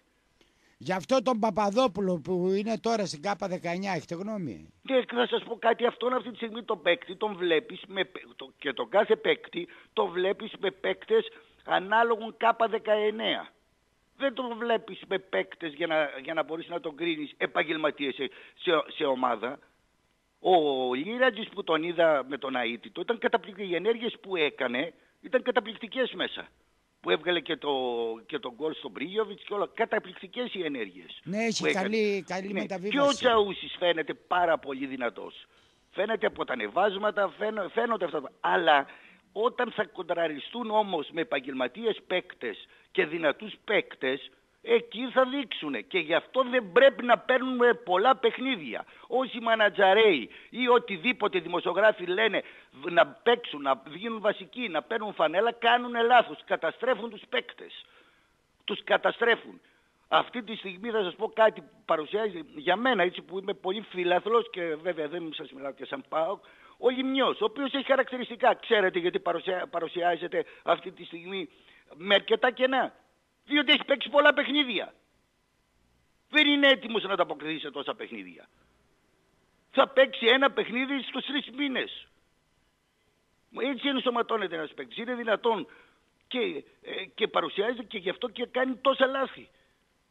Διότι δεν υπάρχει η οριμότητα, δεν υπάρχει το κοντρόλ ακόμα στους, ε, στους μικρούς στα πιτσιρίκια. Το, το ποδόσφαιρο παίζεται, παίζεται ένας παίκτης ο καλός ο παίκτης κρίνεται πάντα και φαίνεται τι, όταν, όταν σε, πιο, σε, οποιαδήποτε ενέργεια κάνει είναι πιο γρήγορο το μυαλό του από τις κινήσεις του σώματός του. Αυτοί οι οποίοι βλέπεις ξαφνικά να αντιδράνε ή να τρέχουν ή να κάνουν κινήσεις με το σώμα τους χωρίς να τις σκεφτούν είναι ακόμα ανώριμοι. Στο ποδόσφαιρο πρέπει να, να εκπαιδευτείς και αυτό αποκτάται μέσα από εμπειρία και κοντρόλ και αυτοσυγκέντρωση να είναι το μυαλό σου πιο γρήγορο από το σώμα σου. Και όχι σε οποιαδήποτε φάση γίνεται βγάζεις τις φυσικές σου δυνατότητες. Και ας είναι τεράστιες αυτές οι φυσικές σου δυνατότητες. Μπορεί να γίνουν τρομερά λάθη με αυτόν τον τρόπο. Άρα αυτά τα πιτσιρίκια λοιπόν για να, για να, για να έχουν το κοντρό το μυαλό, να είναι πιο γρήγορο το μυαλό τους, θέλουν εκπαίδευση και θέλουν μεγάλη αυτοσυγκέντρωση. τα ίδια έλεγα το Λάμπρο. Έβλεπα, πήγαινε, έβλεπε το Λάμπρο ε, σχεδόν κάθε φορά που έπαιζε, όταν ήταν στο Πανιόνιο και πήρα κάποιος λέω τι, πάνω κάποιος λέω τι παικταράς εκεί είναι απ' έξω ακόμα αυτός ο Λάμπρου. Μόλις ο Λάμπρου τραυματίστηκε, δεν θυμάμαι ήταν Φεβρουάριος ή Μάρτιος, έπεσε όλος ο Πανιόνιος. Κοντρόλ, ταχύτητα, σέντρα, κεφάλι. Εμένα κάποια στιγμή ε, μιλούσα με τον, με τον, πείτε το, τον Δημόπουλο και τον, και τον, που ήταν μαζί στην εκπομπή, ο Δημόπουλος μαζί με τον το, Λεοντιάδη. Λεοντιάδη, τον ναι, Μιχάλη. Ναι, και τους πήρα, τους λέω, ξέρεις τι, τι, τι, τι μου θυμίζει. Το εξτρέμ της Λάρισας πίσω του, του, παλιά του που έπαιζε αριστερά πάνω στην γραμμή. Τον... Ζιώγα. Όχι το Ζιώγα, ήταν, ήταν σε τρεφόρο Μιχάλης. Όχι, όχι, ε, σταμάτησε μετά το... Ήταν μέσα ε, ε, μαζί με το αυτοκίνητο που είχαν σκοτωθεί τότε ο Μουσάρης. Α, το Βαλαόρα.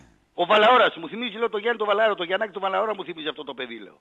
Ίδιος παίκτης λέω, ίδια χαρακτηριστικά. Είτε το Γιάννη το Βαλαόρα πιτσιρίκο λέω τότε, είτε το, του λέω τι, τι χαρακτηριστικά είναι αυτά που έχει. Το πιστεύετε δηλαδή το... Τι, μα, τι λέτε ε; τώρα; Μα δεν είναι τυχαίο τώρα οι Ολλανδοί να τον βγάλουν το ταλέντο. Δεν βγαίνουν οι Ολλανδοί, ξέρετε πόσα παιδιά είναι εκεί και τι ομάδες είναι. Βεβαίως. Και τι μανατζαρέ είναι από πίσω και τι γραφεία είναι από πίσω και να τον βγάλουν για παίκτη μάλιστα που δεν ανήκει και στην Ολλανδία, σε καμιά ομάδα της Ολλανδίας. Και τον έβλεπα και λέω μόλις τότε τραυματίστηκε ο Λάμπρου στα... ήταν Φεβρουάριο ή Μάρτιος, δεν θυμάμαι. Χώμα μετά όλος ο Πανιόνιος. Χώμα όλος ο Πανιόνιος. Έγινε κύριε Γιώργο, θέλω να σε ξανακούω. Παρακαλώ επόμενη γραμμή, αν περιμένει ο άνθρωπος τόση ώρα. Ορίστε. Ορίστε. Δεν περίμενε και καλά έκανε, πού να περιμένει. Αλλά δεν μπορούσα να το διακόψω τον κύριο Γιώργο, ήταν εξαιρετικά αυτά τα οποία μας είπε και όσες φορές παίρνει, γι' αυτό τον είπα να παίρνει πιο συχνά, έχει να πει πράγματα αυτό το, αυτός ο ακροατής και εγώ θέλω να τον ακούω γιατί μαθαίνετε κι εσείς, μαθαίνω κι εγώ. Γυράσκω αή διδασκόμενος. 2-31-0, 2-87 και 3 οχτάρια αμέσως μετά το διάλειμμα και FM κενό 54-526 για 5 ειστήρια που θα κληρώσουμε 2-3 λεπτά πριν από το τέλος της εκπομπής για τον αγώνα του ΠΑΟΚ με τη Λαμία που θα γίνει το, την επόμενη Κυριακή στις 7 η ώρα στο γήπεδο της Τούμπας. Με το ποδόσφαιρο ε, γιορτάζουν μαζί μας. Ε, είναι πραγματικά υπέροχο, είναι πραγματικά φανταστικό ε, αυτό το ποτάμι που έχει ξεκινήσει, ε, αυτή η νότα αισιοδοξίας που δίνει η ομάδα και το αδιέξοδο που δίνει στον κόσμο μας για να χαρεί για κάτι. Είναι πάρα πολύ σημαντικό.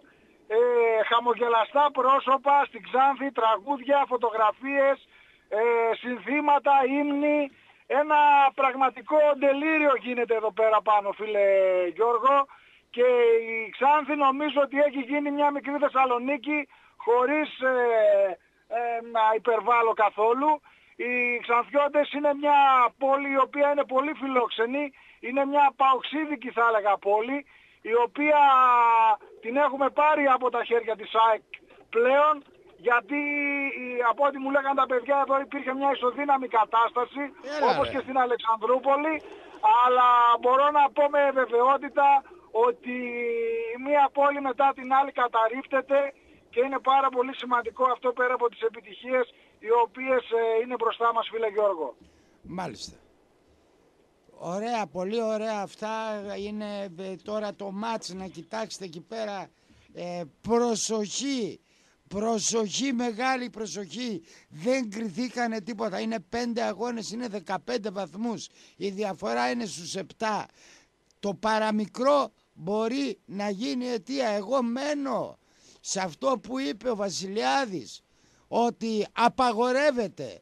Ενώ ξέρει ότι έχουν διαιτεθεί πάνω από 6-5 χιλιάδες εισιτήρια λέει ότι απαγορεύεται η εκδρομή των φυλάδρων του ΠΑΟΚ. Γιώργο, η, ομάδα, η ομάδα ξέρει και είναι πρωταθλήτρια στην καρδιά μας. Ε, ξέρει τι πρέπει να κάνει για να κερδίσει, για να πάρει τους πόντους της νίκης από τη δικιά μου την πλευρά, από την εμπειρία που έχω να δώσω συμβουλή, αν μου επιτρέπετε να το πω, στον κόσμο μας, να τυθασέψει λίγο τον ενθουσιασμό του, να προσέξει λίγο γιατί είναι, είμαστε πολύτιμοι, είμαστε πολύτιμοι και για τον ΠΑΟ και για τις οικογένειές μας. Ξέρω, καταλαβαίνω, βλέπω, βλέπω στα πρόσωπά τους αυτό που έχω πολλά χρόνια να δω. Ε, τι να σου πω, είναι, είναι εξωπραγματικό, είναι κάτι το υπέροχο, αλλά θα πρέπει να υπάρχει προσοχή και στο δρόμο και στις αντιδράσεις μας και στους πανηγυρισμούς μας. Ε, δυστυχώς το γήπεδο της Ξάνδης δεν είναι ένα γήπεδο ευρωπαϊκών προδιαγραφών. Ελοχεύουν πολύ κίνδυνοι και, από, και σαν γήπεδο είναι επικίνδυνο. Δηλαδή κερκίδες, τα σίδερα που έχει όλα αυτά. Ε, και να, να πάμε να πάρουμε τους τρεις πόντους, να γιορτάσουμε, να τραγουδήσουμε όλοι μαζί, να τραγουδήσουμε και με τους ξανθιώτες μας ε, τη νίκη, ε, γιατί μετά από πολλά χρόνια ο ΠΑΟΚ μας καταφέρνει να, να φέρει το ένα πρωτάθλημα και πέρα από το πρωτάθλημα είναι να δείξει ότι η Βόρειο Ελλάδα, η Μακεδονία, η Θράκη έχει αξιοπρέπεια. Και αυτή την αξιοπρέπεια την κερδίζουμε καθημερινά μέσα από τους αγώνες μας. Αυτό είναι το μεγάλο μήνυμα που δίνει ο μεγάλος ΠΑΟΚ φέτος. Ότι δεν κερδίζει τίποτα στα χαρτιά, δεν κερδίζει τίποτα παράνομα μόνο μέσα στους αγωνιστικούς χώρους όπως θα πρέπει να, να παλεύει ο καθένας μας. Και με τη δουλειά μας και με την προσπάθειά μας σε αυτόν τον τόπο, στο ποδόσφαιρο, στις δουλειές μας, ε, φίλε Γιώργο, φέρνουμε την ανάπτυξη. Όπως εμείς οι Παοξίδες έχουμε γίνει μια τεράστια αγκαλιά και πανηγυρίζουμε ένα πρωτάθλημα το οποίο ακόμα και σήμερα κάποιοι προσπαθούν να μας το στερήσουν, έτσι όλοι μας θα πρέπει και σαν Μακεδόνες να είμαστε μια αγκαλιά για να μπορέσουμε να αντιμετωπίσουμε αυτά τα προβλήματα τα οποία έρχονται, τα γεωπολιτικά προβλήματα. Μόνο ενωμένοι, μόνο δυνατοί θα μπορέσουμε να καταφέρουμε να κρατήσουμε τουλάχιστον την αξιοπρέπειά μας. Και κλείνοντας να πω, όλοι σήμερα είναι μια μεγάλη μέρα, είναι η μέρα του, του, της Σταυροπροσκυνήσεως. Εύχομαι ο Θεός των Ελλήνων, ο Ορθόδοξος Θεός, να δίνει σε όλο τον κόσμο υγεία. Γεια σου φίλε Γιώργο, θα τα πούμε από κοντά. Γεια σου, γεια σου ρε Νικόλα, γεια σου ρε Νικόλα, μάγκα που φυσάς και σβήνεις λάμπα. Να πάρουμε το τελευταίο ακροατή. Ορίστε κύριέ μου. Καλησπέρα Γιώργο, Μάκης εδώ. Γεια σου κύριε Μάκη μου. Ο φίλος μας ο Νταλικέρης, από πού μας ακούει; Χθε άκουγα στην Ιταλία και με αυτή τη φακή μας έκανες που είχαμε ψοφήσει από την πίνα, πηγαίναμε για καράβι, καμιά τρει-τέσσερι ήμασταν παρέα. Α. Λοιπόν, και εσύ μας έλεγες για τη φακή με τη, με τη φιλινάδα μου. Την, την Αποστολίτσα, ναι. Και μην πεθάναμε από την πείνα. Λοιπόν, εγώ εύχομαι ο Θεός των Ελλήνων να φωτίσει όλους τους Έλληνες και μένα μαζί, αν και εγώ λίγο το αποφεύγω αυτό το πράγμα, στα τούνελ τα μεγάλα εδώ στα τέμπη, όταν λέει χ αριστερά οδηγείται δεξιά έχει έργα και πάτε με 80 και είναι 1,5 χιλιόμετρο δύο το τούνελ, μην βγαίνουν αριστερά και περνάνε με 130. Έχει ταμπέλες, ρε παιδιά καθίστε εκεί πέρα να πούμε πάτε 80 πίσω Είμαστε πολύ κακοί οδηγοί, δυστυχώς Μάκη είμαστε Όχι, πολύ ρε, κακοί φίλε, οδηγοί. Δεν είμαστε κακοί οδηγοί ρε φίλε, λείπουν οι κάμερες. Βάλτο να τις κάμερες, γιατί έξω που πηγαίνουμε εμείς πώς μάθαμε και οδηγάμε. Ρίχτου τις κάμερες, πέρασες, με πέρασες ένας με μια ελευθέρας. Συγκάνος πρέπει με ένα σέα, τύπιζα και φημέ τζάμια. Ρίχτω να μια καμερούλα εκεί πέρα, πάρ' το ρίχτω και 2.000 πρόστιμο και έξι το δίπλωμα. Να δεις το ξανακάνει. Θα δεις τα ξαναπέ. Όπως κάνει ο Γερμανός και ο Γάλλος. Θα δεις και εγώ θέλω να περάσω στη Γαλλία, ξέρεις πως μου τη δίνει. Να τους περάσω, δεν περνάω όμως και δεν με κάνουν. Θα με ξυρίσουν κόντρα. Λοιπόν, όλα πάνε καλά, η Παοκάρα θα πάρει πρωτάθλημα. Άκουγα χθες και την ανάλυση που είχες και σήμερα για την αρχαία Ελλάδα. Είσαι στην ιστορία πρώτος, δεν παίζεσαι. Λοιπόν, αυτό που έλεγες για, τα, για τους οπαδούς, για τους αυτούς του Ολυμπιακού πώς τους χαρακτήρισες κιόλας. Ναι. Και μένα με στεναχώρησε αυτό το πάρα πολύ. Ε, τώρα δεν ντροπή ρε. Πολύ Ντροπή ρε. Η, η χώρα απόδειξε κάποιος... πολιτισμός σε όλο τον κόσμο, εξαγωγή πολιτισμού, Α, αυτό, σεβασμός στο νεκρό, πράγμα... δεν τρέπονται λίγο. Ένα θέμα ανθρωπιάς τώρα. Γιατί, ε, εντάξει, βέβαια τώρα, ρε μεγάλε, δηλαδή τώρα τα χάσαμε όλα ρε. Και εκείνος ο Φουκαράς τώρα που πήρε ο πατέρα, που είδε ο πατέρας αυτό το Μα τον είδα στην τηλεόραση εχθές και βούρκωσα. Αυτός εδώ τώρα ξέρεις τι σκέφτεται. Θα πάω σε ένα μάτσο και θα κάτσω από απέναντι και θα πάρω ένα καλάζικο και θα τους θερήσω. Έτσι θέλανε αυτοί ρε φίλε. Θα κάτσει απέναντι με το καλάζικο και θα τους κάνεις βίδες. Έτσι θέλουν.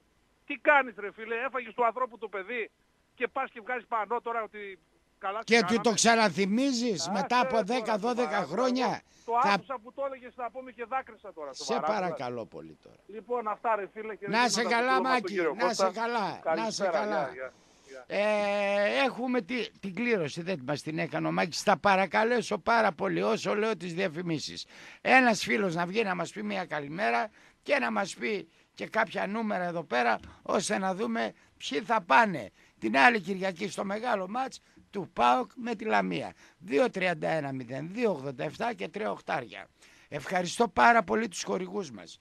Στα Σάνρωλα να λέει σπάζουν αρνιά, δεν πάνε να σφάζουν και γουρούνια. Εμείς τα κρέατά μας, ναι πήρε, πήρε, πήρε ο φίλος ο ακροατής, ορίστε. Εγώ θα έπαιρνα, φίλε. Ποιος άλλος θα έπαιρνα; Γεια σου ρε Πασκαλάκο. Ασχάρης Ολυμπιακάρης. Γεια σου λοιπόν, ρε Πασκάλη. Πριν, πριν δώσω τα νούμερα, ναι. να πω το φίλο του Ταλικέρη με 130 το πέρασε. Ο, ο Γύφτος. Ναι. ναι. Λοιπόν, εγώ με 220 θα τον περάσω και θα πάρω το πρωτάθλημα. Θα πάρεις ό,τι άντε να μην σου πω τώρα τι θα πάρεις. Λοιπόν, λοιπόν, λοιπόν τι νούμερα θες; Από το 1 μέχρι το 8 θέλω 5 νούμερα. Από το 1 μέχρι... Το 8. 8. Ε, 1, 3, 5. Περίμενε ρε, 1. Πασχαλίνα Ερελιάδη. Μισό, να τα σημειώνω. Πασχαλίνα, πώς την λένε, Ερελιάδη. Ερελιάδη. Ένα. Τρία. Το τρία. Δαμιανός Κώστας. Κωνσταντίνος. Έλα. Το τέσσερα. Το τέσσερα Ιφηγένεια Θάνου. Και ένα ακόμα θες; Άλλα δύο. Ιφηγένεια Θάνου. Άλλα δύο. Το 7 και το 8. Το 7 Δημήτρης Δημητριάδης.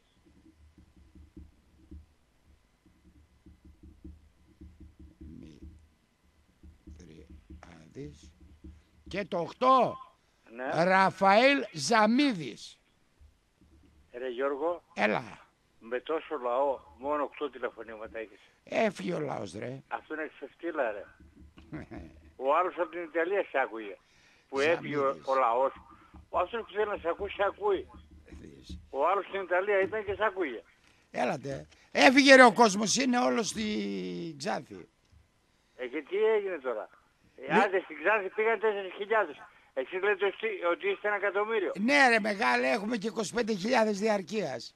Πώς θα το ε, ναι, κάνουμε. Ναι. Λοιπόν, να σε καλά. Ευχαριστώ πολύ τον Πασχάλη. Ευχαριστώ πολύ τους χορηγούς μας. Στα να σφάζουν αρνιά, αλλά η Νιγρήτα έχει τα πιο ωραία αρνιά του κόσμου. Νιγρήτα με δύο κρεοπολία, με δύο καταστήματα. Ολύμπου 22 στον, και στον Εύωσμο, Καραολί και Δημητρίου 80. Επίσης, απτάγραφα, δεξιώσεις γάμων, βαφτίσεων και εταιρικές εκδηλώσεις. Κτήμα απτάγραφα στο Χορτιάτι, www.apopavlatagrafa.gr Έχουμε Atlas Μιχάλη, Μιχάλης ε, Γεώργιος Κουσουρής και η εταιρεία Atlas πήρε δώρο στην κοπέλα, βάλε όμορφη κορδέλα. Και φυσικά το ο που έχουμε εδώ και 1,5 περίπου χρόνο η, το κομμωτήριο της Εφης Ολύμπου 23 515 017 το τηλέφωνο όπου εκεί δεν χτενίζουμε, κεντάμε, ζωγραφίζουμε. Το η ψαραγορά Αιγαίο όπου έγινε το έλα να δεις την περασμένη Δευτέρα και ευχαριστούμε πάρα πολύ όλο τον κόσμο που προτίμησε τα καταστήματά μας και εδώ και στο Ρεόκαστρο να προμηθευτεί το μπακαλιάρο και τη σκορδαλιά που είναι το πιάτο της ημέρας. Σας εύχομαι κυρίες και κύριοι να είστε καλά, να περνάτε όμορφα και να προσέχετε τον εαυτό σας. Καλή νύχη στην ομάδα σας και εμείς θα τα πούμε το άλλο Σάββατο. Γεια σας.